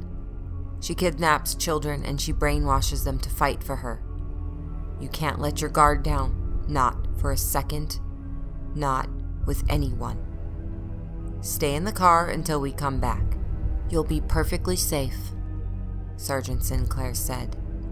I nodded rigidly, my face pressed against the window, straining to get a glimpse of what might be in store for them. Maybe Sammy D just took her money and ran for it. She must have some contingency plan in case she was discovered, right? She couldn't intend to take on the whole town. The officers were about a dozen feet from the parked cruiser when Maker appeared around the side of the house. He was limping in an exaggerated motion, his face and body further smeared with blood and bits of gore. He was crying and wailing for help. But the moment the police started advancing, Maker turned and began staggering in the opposite direction. It was so real, it made me sick at least until Maker skipped a step, accidentally limping on the wrong leg. but I don't think either of the cops noticed. Don't follow him, it's a trap, I shouted through the glass. Stay in the car, Sinclair barked without turning. Erickson had already disappeared around the corner after Maker. Then came a shrill scream from the yard on the other side of the house, and a moment later, Sinclair was gone too. Just me, pressed against the glass and wondering if it was already too late to run again. Then another face, an inch from mine, peering through the window at me. Alexa knocked sharply and said, Hey, can you hear me? She must have been kneeling beside the car because her body was obscured behind the door. I couldn't tell if she was carrying a weapon. I triple checked that all the doors were locked before I replied. It's over, Alexa. Turn yourself in or run. You don't need to go down with these people. You still don't understand, do you? She asked. The sincerity in her voice and the pleading furrows in her smooth skin were disarming. Sammy D is going to take care of us forever. She loves us. Like she loved her own son. There was a gunshot from the yard. I jolted so bad that I hit my head on the ceiling. Alexa didn't even react. Like everything was so perfect before, Alexa said, her voice still gentle and coaxing. Do you know what would have happened to Maker if Sammy D hadn't saved him? Saved? I couldn't believe my ears. Why was there only one gunshot? What the hell was going on over there? We'd go weeks at a time without even seeing our parents, she continued. Sometimes they'd remember to hire someone to take care of us. Sometimes it was just me and Maker. Even when they were home, we weren't allowed to leave our room when they were partying out there. And with the meth, that could go on sometimes for days at a time. A second gunshot, a third immediately afterward. That wasn't a warning. That was an execution. Do you have any idea what it's like to hold your little brother and wait for him to stop shaking? Only he wouldn't stop because of the chemicals going through his veins. But I couldn't understand that. I thought he was just scared and that it was my fault I couldn't get him to feel safe. Two more gunshots in rapid succession. I could imagine Sammy D kicking over the second officer's slumped corpse so clearly that I might as well be staring at it. Maybe it wasn't like that for you, but someone must have wanted your parents dead for a reason. Ever think about what they were hiding that made this happen? Ever wonder if they deserved it? Everyone out there deserves to die. Everyone but us. Sammy D wants to give you another chance to join the family. I couldn't stand it any longer. I had to see what was going on. If the police were dead, then staying here wouldn't protect me anyway. Alexa stepped back as I slowly opened the door. It was impossible not to notice the razor blade clutched between her fingers. What's it going to be? Sammy D was walking around the house, handgun casually hanging from her fingers. That was it then. It was over. Alexa grinned, moving to stand in solidarity beside the old woman. We're leaving here within the hour, Sammy D added. You're coming with us, or you're staying here. Doesn't matter to me, either way. Sammy D's finger twitched around the trigger. She might pretend to be relaxed, but I could see the tension which twisted her fingers into a claw around the gun. I didn't have any delusion that staying here meant anything other than buried in the backyard. What's the matter? Her voice was a gravel avalanche. Too scared to answer? I shook my head. You taught me better than that. Half a smirk played about her lips before they drew back into a tight line. Alexa was still smiling. You taught us all better than that. Except for Maker, right?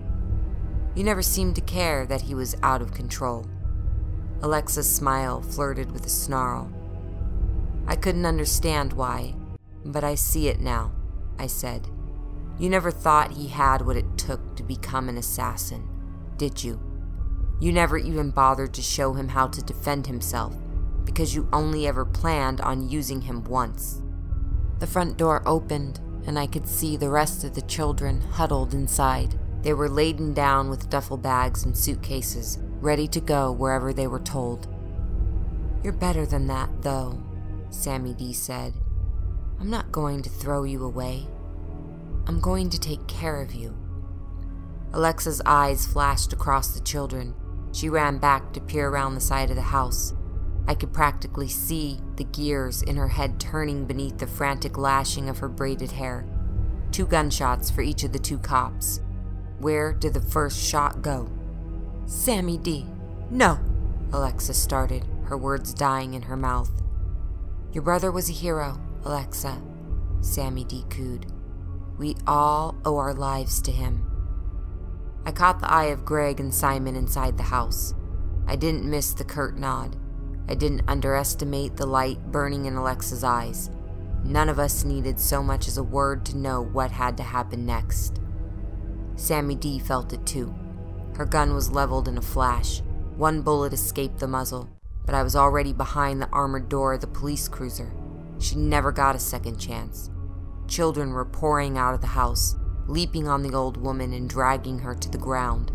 The flash as Alexa's razor traced a line in the air like a spear of light. It wasn't the death rattle or the color of blood which filled the air, though. There was no sound so haunting as the pitiful howl which ripped itself from somewhere deep inside of Alexa. There was no color like the fire in her eyes being tempered by the rush of her swelling tears. The thrill of the kill was still hanging in the air, but one look around was enough to know that it was nothing compared to the burden of loss. We had money and a chance at a new life together. The most important thing we gained from the assassin's orphanage is knowing you can't buy yourself a new life at the price of someone else's. Life can't be bought or sold or stolen in any form. It can only be built. And it's a whole lot easier to build when you have a real family like I have now.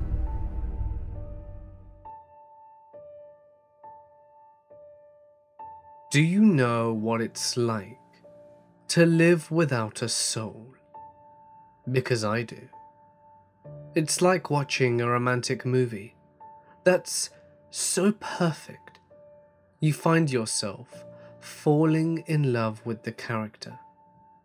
Then the lights come on, and you suddenly remember that person didn't exist. And even if they did, they would never care that you exist. It's like running the wrong way on a racetrack. It doesn't matter whether you ever finish or not, because everyone else has already crossed the line and gone home. You've run further than anyone else. Your legs are in agony, and there's a fire in your lungs, but you're still running because you're afraid of the silence when you finally stop. Living without a soul is sitting in the eye of the hurricane.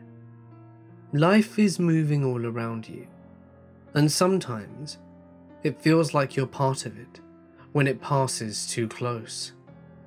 But in the end, nothing and no one can even move you. And though the wind howls fierce in its savage glory and sweeps all the world from under your feet, you'll never know what it feels like to join that wild dance. And that's okay. You tell yourself that. At least you won't be hurt like all those other fragile humans, burdened with their souls. But deep down, you wish that you could feel that hurt. Just for a moment. Just so, once in your life, you knew there was something important enough to be hurt over. I lost my soul while I was only six years old. My father didn't want me. My mother told me so. She said I was the reason that he left and I believed her. I was in first grade at the time, and our class project was to make a paper lantern which was closed at the top. The hot air from the candle was supposed to lift the lantern, although mine wasn't sealed properly and couldn't leave the ground. I was getting really frustrated, and after the fourth or fifth attempt, I got so mad that I actually ripped the whole thing to shreds. My teacher, Mr. Hansbury, a gentle dumpling of a man with a bristly moustache, squatted down next to me and gave me the lantern he had been building. I was so mad that I was about to destroy that one too. But he sat me down and said, Do you know what I love most about paper lanterns? They might seem flimsy, but when they fly, they can carry away anything that you don't want anymore. You can put all your anger into one of these, and the moment you light that candle, it's going to float away and take your anger with it. That sounded pretty amazing to me at the time. I settled down to watch him glue the candle into place, concentrating all my little heart on filling the lantern with my bad feelings. It started off with just the anger at the project, but one bitterness led to the next, and by the time Mr. Hansbury was finished, I'd poured everything that I was into the paper. All the other class lanterns only hovered a few feet off the ground, but mine went up and up and on forever, all the way to the top of the sky. The other kids laughed and cheered to see it go, and my teacher put his hand on my shoulder and looked so proud. But I didn't feel much of it. How could I? With my soul slowly disappearing from view. I remember asking Mr. Hansbury if I could go home and live with him after that, but he said he didn't think my mother would like that. I told him that she would, but he still said no. I didn't suppose it would have mattered one way or another, though, because it was too late to take back what I did. There's something else besides the numbness that comes when your soul is gone. I didn't see them the first night, but I could hear them breathing when I lay down to sleep, soft as the wind but regular and calm like a sleeping animal. I sat and listened in the darkness for a long while, covers clutched over my head. The breathing seemed so close, I could feel its warmth billowing under the sheets. I cried for what seemed like hours, but Mum didn't come up, and I was too afraid to get out of bed. I don't think I fell asleep until it was light outside. Mum was angry at me in the morning for keeping her awake. She heard me, but she thought I would give up eventually. I didn't get breakfast that day, and I didn't mention the breathing again. That was only the beginning. I think a soul does more than help you appreciate the things around you. It also protects you from noticing the things you aren't supposed to see. And with it gone, they were everywhere. Beady eyes glinting from under the sofa, a dark flash at the corner of my eye, scuffling in the drawers, and late night knockings on the door and windows. I never got a good look at them, but they were always watching me. I'd wake up in the middle of the night and feel their weight all over my body, pinning me down. Rough skin against me, dirty fingers digging into my nose and mouth. Worse still, their touch penetrated my mind, inserting thoughts so vile that I knew they couldn't be my own. Although, the longer they were in my head, the more difficult it was to be certain of that. Did I want to insert a needle into my eye and see how far it would go?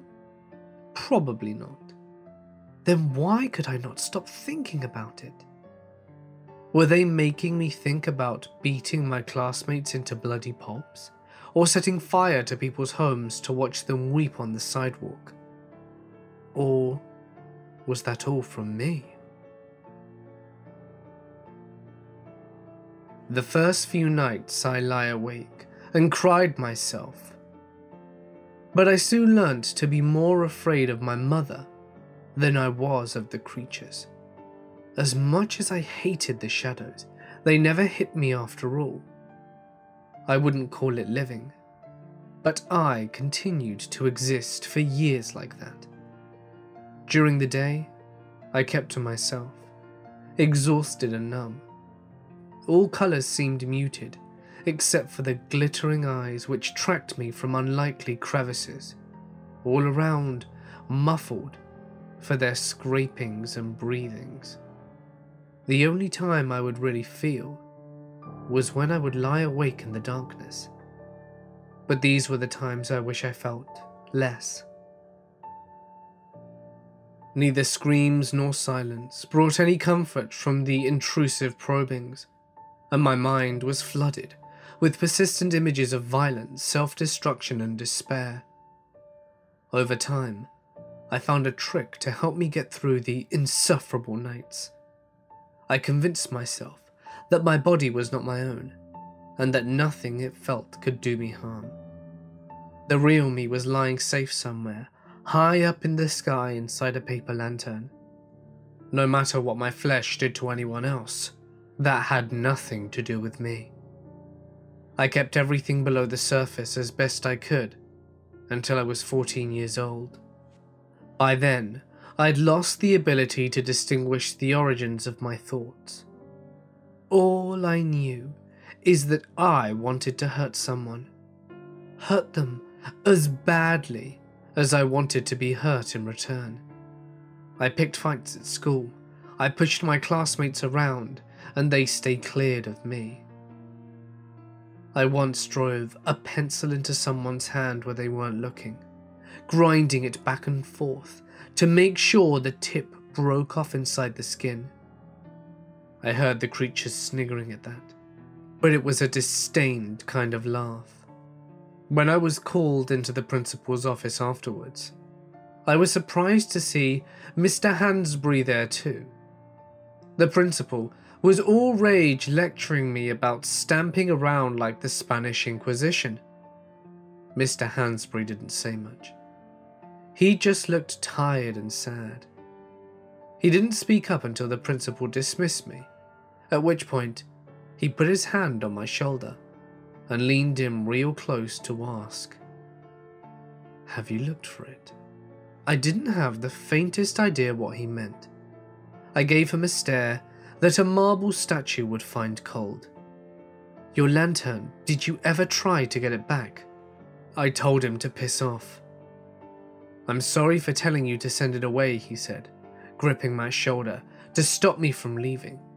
I thought it would be easier than facing, but I was wrong. People can't hide from themselves like that. The pencil was good, but it wasn't enough. My thoughts matched the sardonic tone of the laughter, mocking me for my pitiful attempts, as the creatures crawled over me at night and their intentions mingled with my own. I decided to bring a knife next time. I considered a gun too, but resolved that it wasn't personal enough. I'd rather look a person in the eyes when the blades slip them than shoot a dozen scurrying figures from a distance. And what happened to me afterwards? It didn't matter, because the real me was safely floating in a breeze a thousand miles away. It wasn't going to be at school this time. I wanted to take my time and not be interrupted. Instead, I went out at midnight, the taste of those dirty fingers still fresh in my mouth. I didn't care who my victim was, as long as they could feel what I was doing to them. My neighbourhood was quiet at night, and there weren't a lot of options though, so I decided to head down to the 24 hour gas station on the corner. The kitchen knife gripped between my fingers, cold air filling my lungs, groaning laughter and applause from the creatures thick around me in the darkness. I almost felt alive there for a second, just like I did with the pencil. But this would taste better. Holding the knife, I felt like a virgin on prom night, with my crush slowly unzipping my pants. I wasn't in the eye of the storm anymore. I was the storm. And tonight would be the night that I saw the paper lantern floating in the air, just a few feet off the ground. The shell was so filthy and stained that I could barely see the light inside. It was impossible for the fragile thing to have survived all these years. More impossible still for the single candle to have burned all this time. But I knew without a doubt that it was my light by the way the creatures howled. They hated it with a passion, and would have torn it to shreds if I had not gotten there first. I plucked the lantern from the air and guided it softly to the ground, the shades screeching as they whirled around me. Feral animals cowed by the miraculous flame. Holding the lantern close, I found the note that was attached. I found this in the woods. Took a couple of days to find it. Mr. H. I collapsed on the sidewalk, trembling for all the time I'd spent away from myself, blubbering and sobering like an idiot until the flame guttered out from my tears. The howling creatures reached a feverish point, and then there was silence, all rising together into the sky, with the last wisps of curling smoke from the lantern. It hurt like nothing I'd felt in years but it was a cleansing kind of hurt. I didn't hide from it. I didn't send it away. I didn't drown it with distractions or fight its grip on me. I won't go so far as to say that pain is a good thing, but it is undeniably a real thing, and I'd rather hurt than send it away to live with the hole it leaves behind. I just wanted to get home that night. An impromptu board meeting ran late, and I had to stay until almost 9 pm just to take notes. When I finally did get out of there, waiting for the elevator was absolute torture. My heels were killing me, my bra was a dagger in my back, and all I had to show for my hard work was a legal pad full of insane political drivel and off coloured jokes. Five, ten minutes before the door opened. Inside, a pair of giggling teenagers were shoving each other back and forth. One girl, one boy. Baggy hoodies, ripped jeans.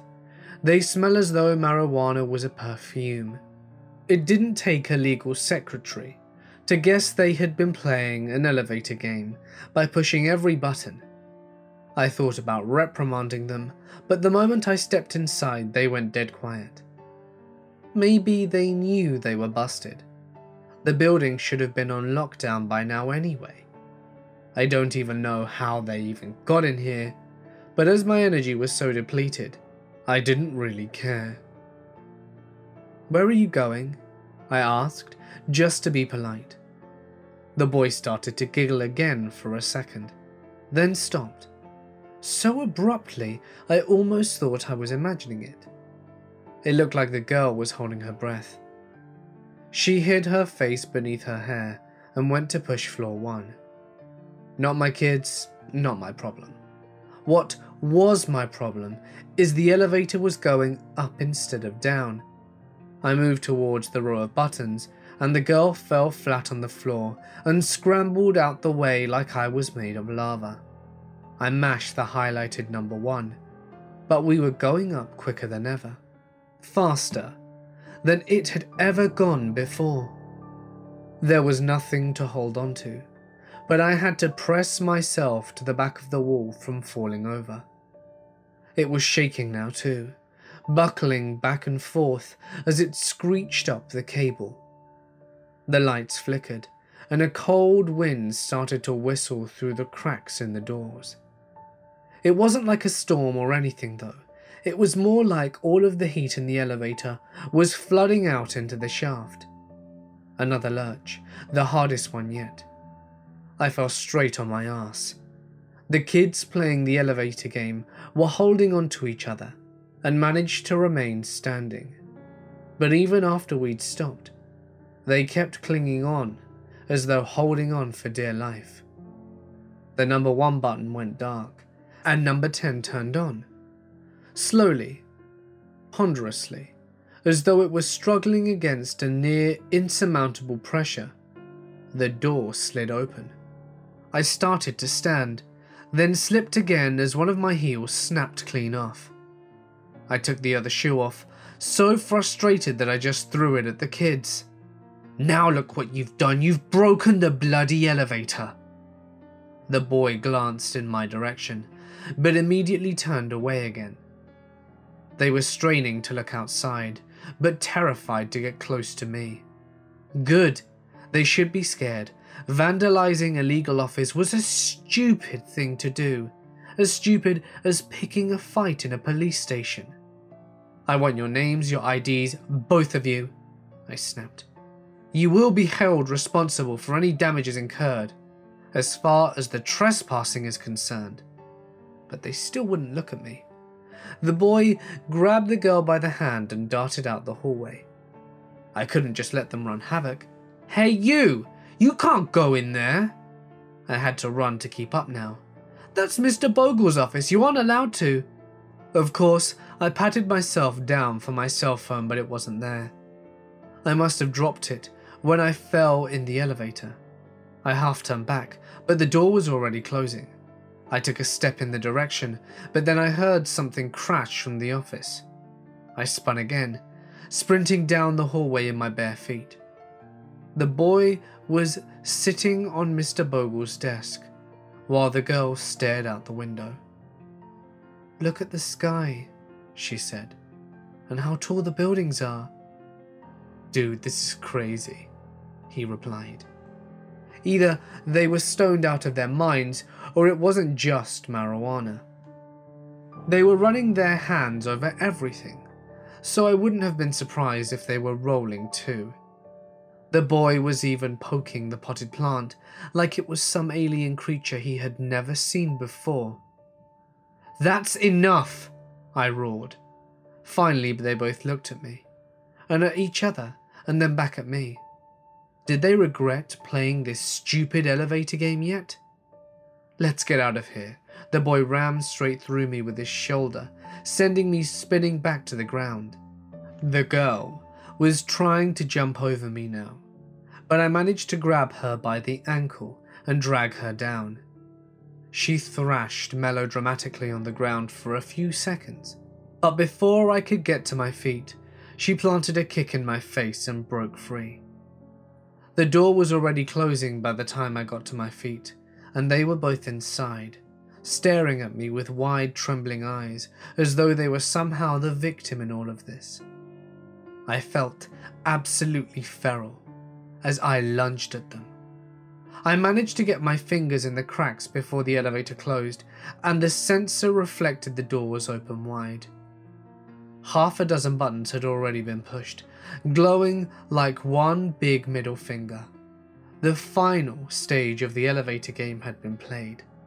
They were cowering in the corner as I loomed over them, an inferno of retribution burning in my eyes. Fine, let the elevator take the long trip down. That was just longer for them to be trapped in there with me. Now they couldn't run. The struggle was absolutely pitiful. The boy's throat was almost comically fragile, and I was amazed how little pressure I needed to ram my broken heel through it. The girl was almost gone by the time I got to her, withering to a husk in seconds after the venom from my nails coursed through her legs where I had grabbed her. I got out of the elevator at the bottom, straightening my dress. I found my phone again and fixed my hair after snapping the other heel off my shoe. I was able to look almost presentable again.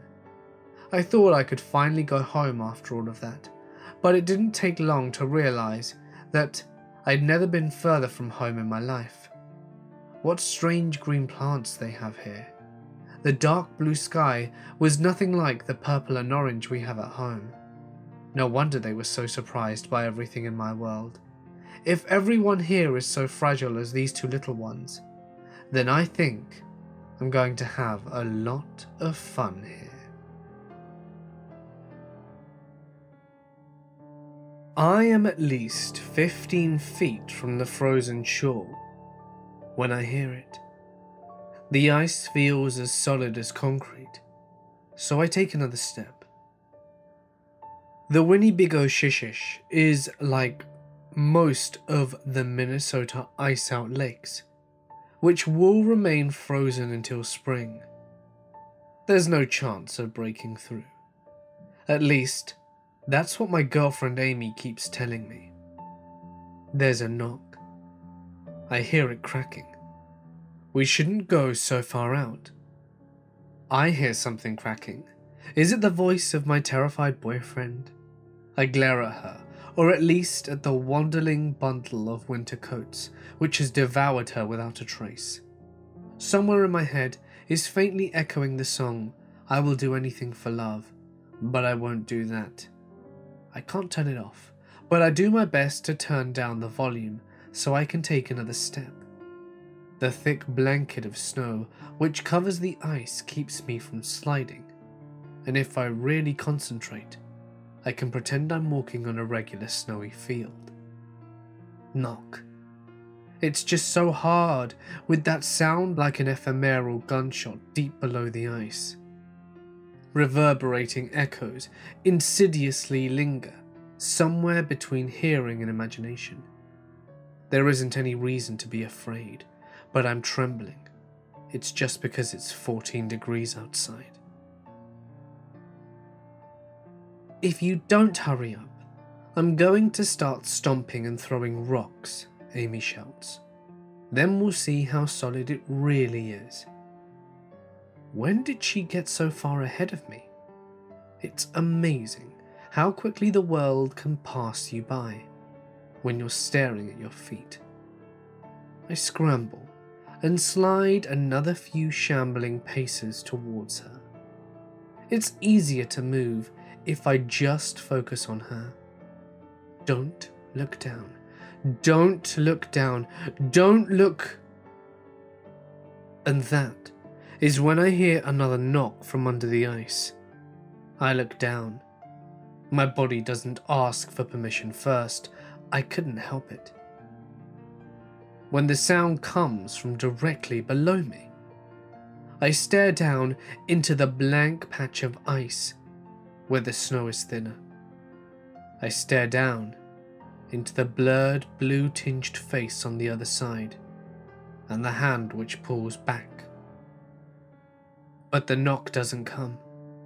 This time, the hand simply presses against the underside of the glassy window. Fingers spread wide in an intimate gesture, as though inviting my touch from the other side. Seriously, dude? I'm gonna freeze to death waiting for you. Amy? My voice is muffled from my scarf, but I can't look up from the lake. The face is coming into focus as it presses itself against the ice. Amy's skin had never been so pale, her eyes never so blue, as though staring up at me from below my feet. I swear to God, if you're gonna pussy out on me, then I'm leaving your ass here. You said you'd go all the way out with me. Amy. The other Amy. Underneath the ice. Her mouth is moving too. It isn't hard to read her lips when it's only one word. Run. You've got five seconds before I leave you here, my girlfriend shouted. Four, my knees buckle, and I tremble down to peer into the ice. The other Amy isn't exactly identical. Her clothing is different, but familiar. She's wearing the purple sweater my girlfriend had been wearing yesterday when we'd gone out skiing together. Amy, wait! I put my hands against the ice to mirror the girl underneath. She recoils immediately, her face twisting into that of desperate fear. Amy and I have been separated for about an hour yesterday when she moved onto the advanced slopes while I was practicing on the bunny hill.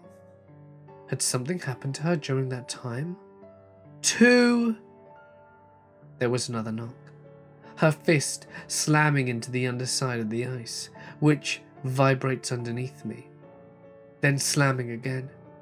Her movements frenzied in their urgency, her mouth straining as the silent screams ripped from her body.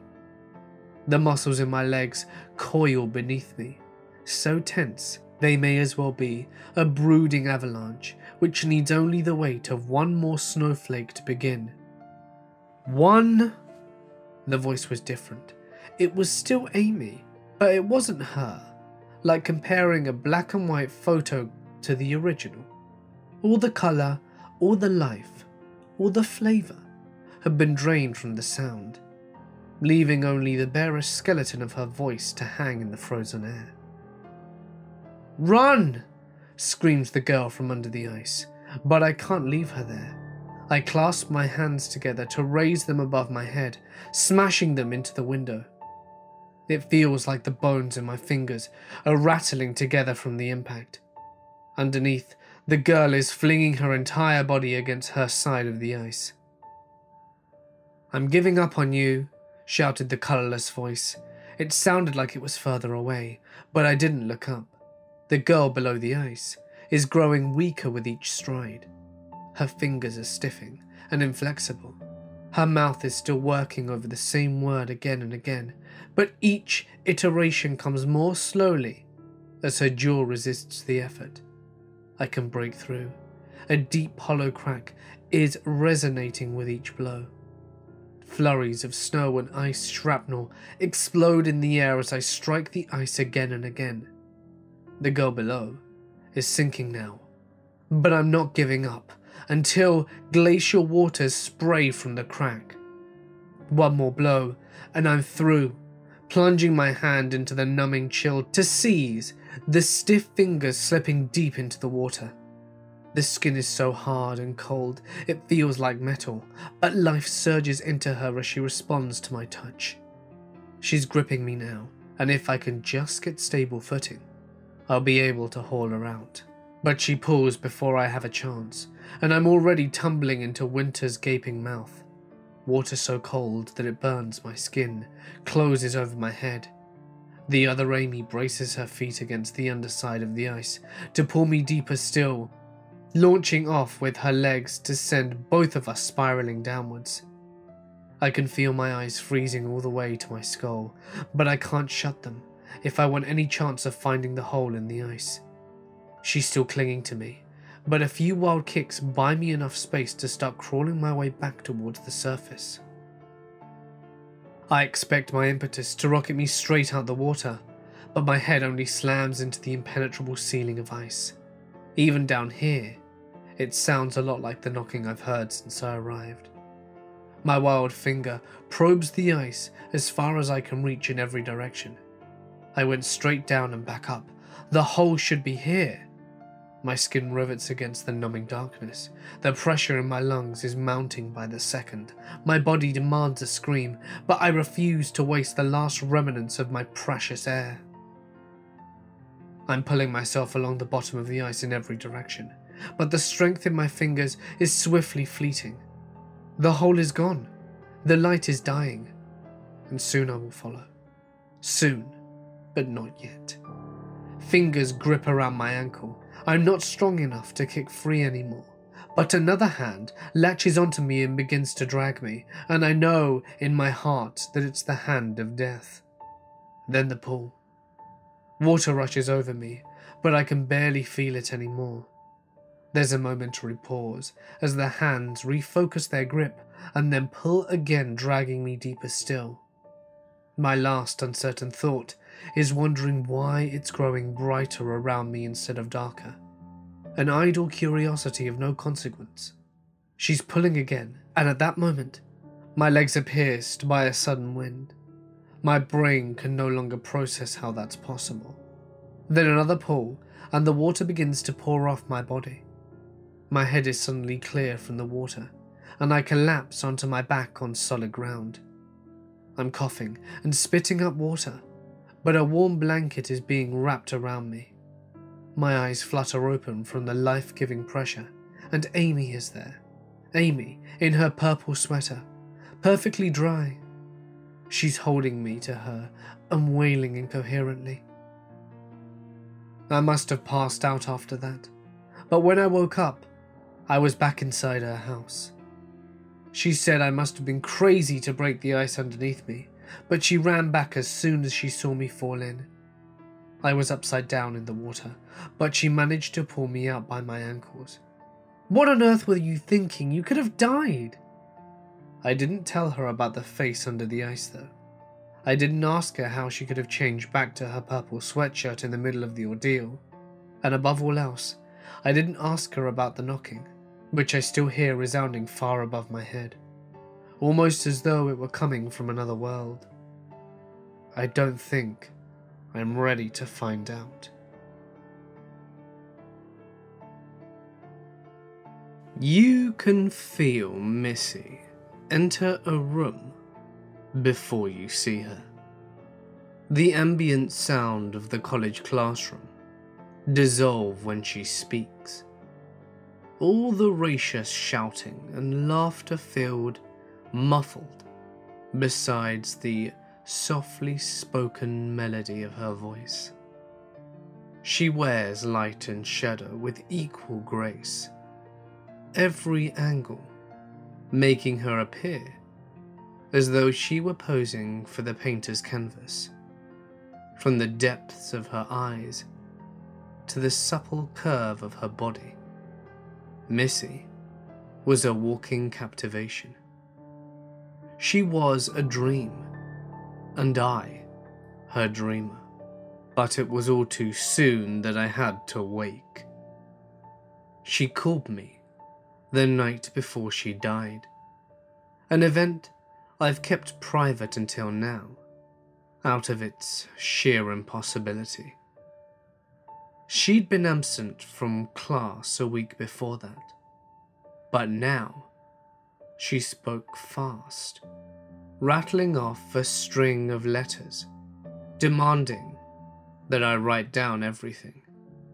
I was scrambling to keep up, unable to ask questions. Twenty letters total, ranging from A to D.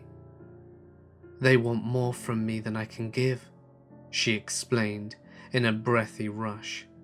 I have to go now. Memorize it, okay? You'll understand when they take you.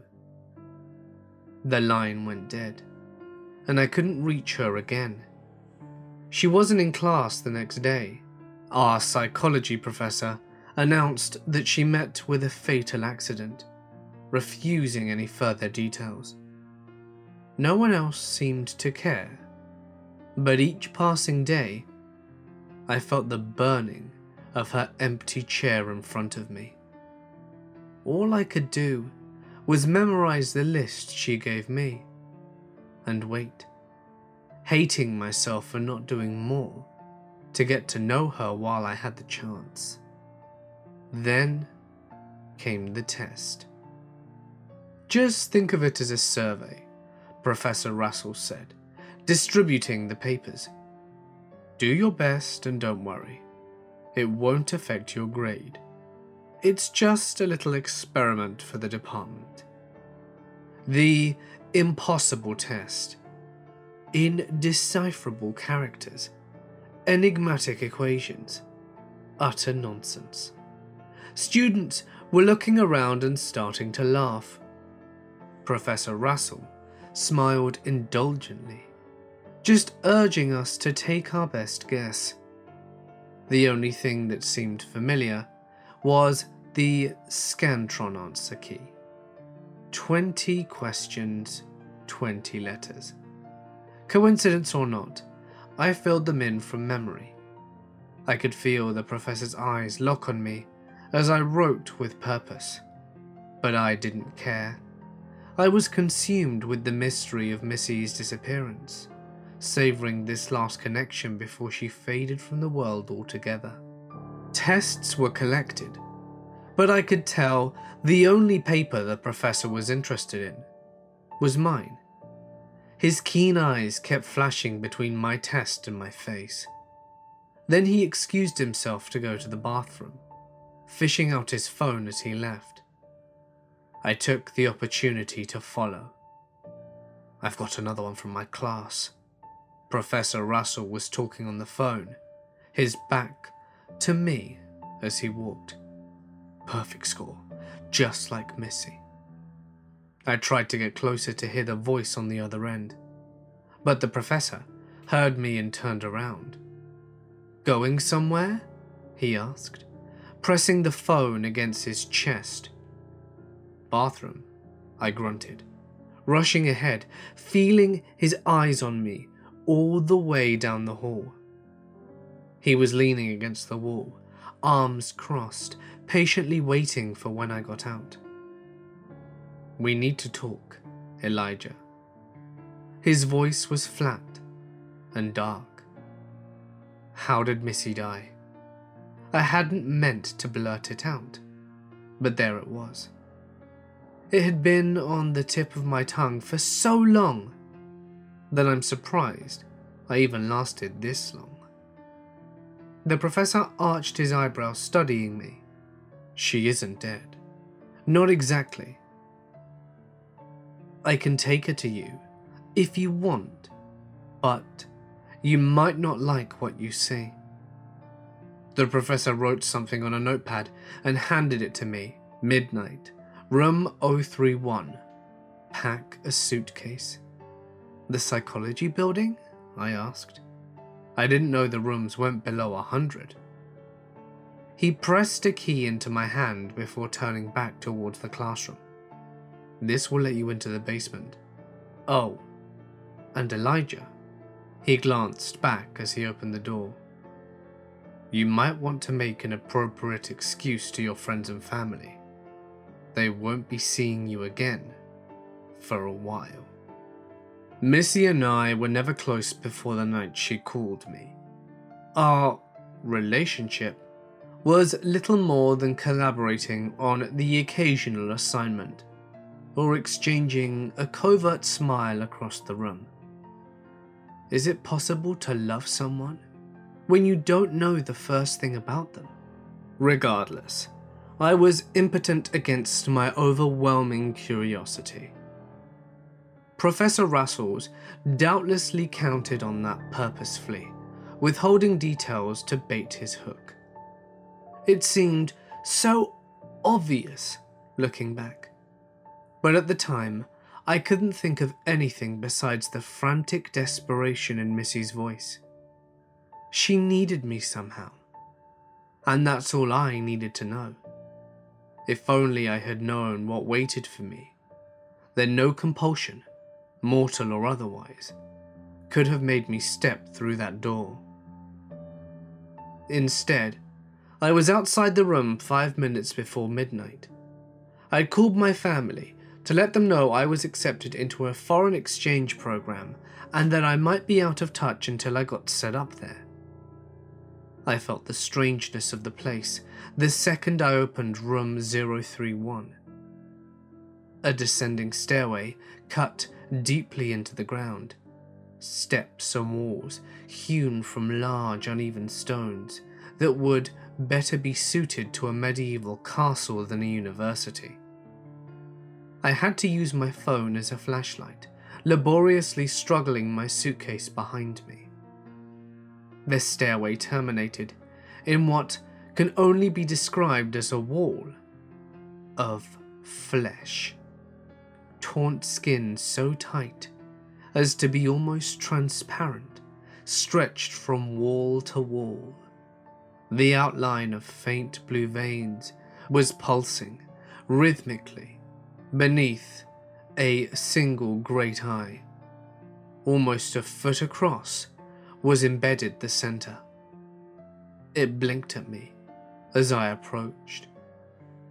A small stool was placed in front, with a serrated knife resting on top. Another note with my professor's handwriting read Continue until you can go no further. The door I entered at the top of the stairs slammed shut, and I jumped at the sound. I pushed the feeble flashlight of my phone as far up as the stairs as it would go, but it couldn't reach the top. If someone had entered behind me, then I wouldn't know. Hello? My voice cracked like it hadn't done since puberty. I picked up the knife and turned back to the wall of skin. The eye strained wider, staring at the blade in my hand. The whole wall began to violently tremble, goosebumps even appearing on the surface. I slowly set the knife back down, watching the wall visibly relax as I did so. Footsteps on the stairs. Hello? I tried again, stronger this time. Qu- quiet, hissed a male voice from the darkness. We'll go further if they don't see us coming. Black eyes greedily caught my pale light. The boy who entered my illumination was about my age, probably no more than a college sophomore. Bumping along behind him came his own suitcase, considerably larger than my own. Did you pass too? What's going on? I asked.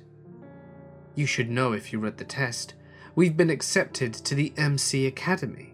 MC? I stared in open confusion. Mortal Coil.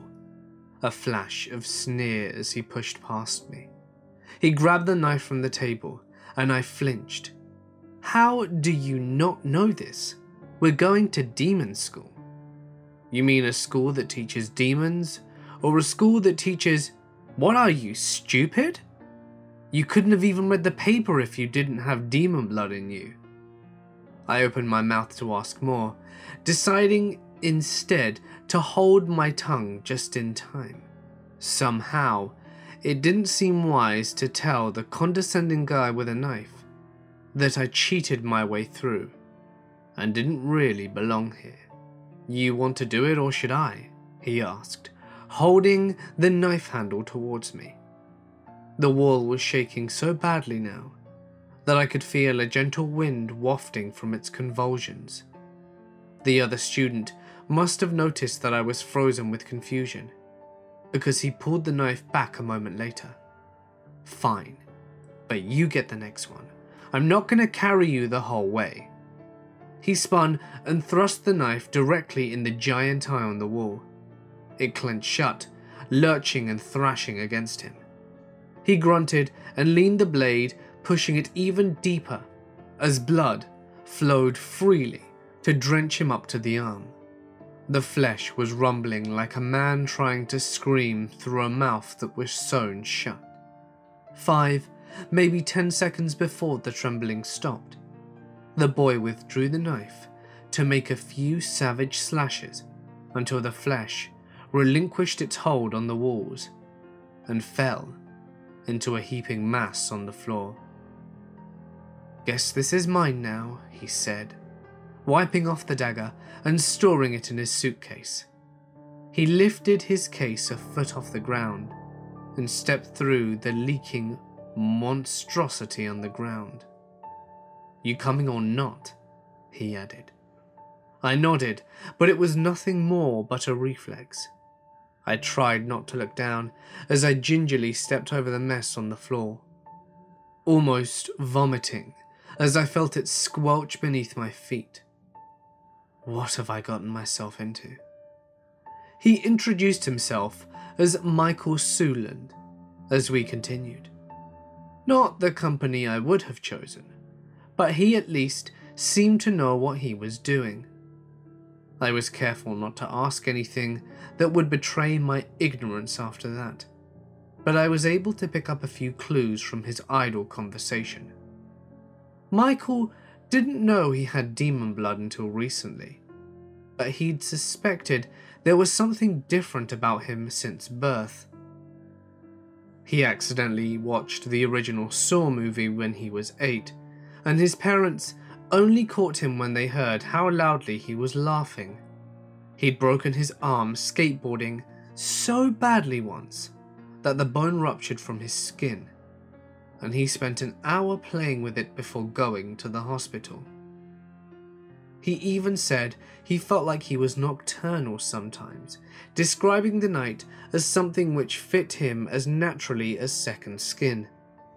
The shrill wailing of an infant broke the conversation. We exchanged glances, his face a mask of greedy excitement, like a child in the candy shop. When we stopped next, there was a closed door blocking the hallway. Wooden this time. At least, although that did nothing to distract from the crying infant placed upon the matching wooden table. He couldn't be more than two months old. I picked him up, trying to get him to stop crying. Michael was reading the note. The key is inside. Inside what? I asked. He just smiled. I'm not going to do that. My response was visceral and immediate. This is sick. The first note just said to go as far as we were able. That means we can stop whenever we want. That means it's a test, Michael corrected, stooping to open his case. He glanced at the dark hallway behind me. I could leave. I could close the door and pretend none of this ever happened. I turned back to see Michael producing the serrated knife, still wet with blood. Leaving wouldn't stop these tragedies, though. I would only enable the school to continue training these monsters doubtlessly preparing them for the worst atrocities yet to come. Maybe that's why Missy led me here. Maybe she wanted me to help her put an end to all of this. We're here because this is the only place for people like us. Might as well get used to it. Michael offered me the knife, and I instinctually shielded the child with my arms, backing away from him. Kill it now! His voice was edged with a sudden intensity. Quick! We give up, I shouted to no one in particular. Whoever is watching, we give up. This is as far as we can go. Elijah, you idiot! Give it to me then. No, I won't let you. Michael lunged at us with the knife, but I managed to scramble out of the way. I lost my balance on the uneven stones and fell straight onto my arse though. I covered the child with my body, but had to let go a moment later as a piercing pain like a fistful of needles was gorging into my hand. The infant had latched onto me with unnatural ferocity. It shouldn't have even had teeth yet, but I could clearly see multiple rows of razor edges burrowing into my skin. I screamed and strained to pull it off, but every movement did nothing but give it a fresh angle to burrow further. Bash it against the wall, Michael shouted.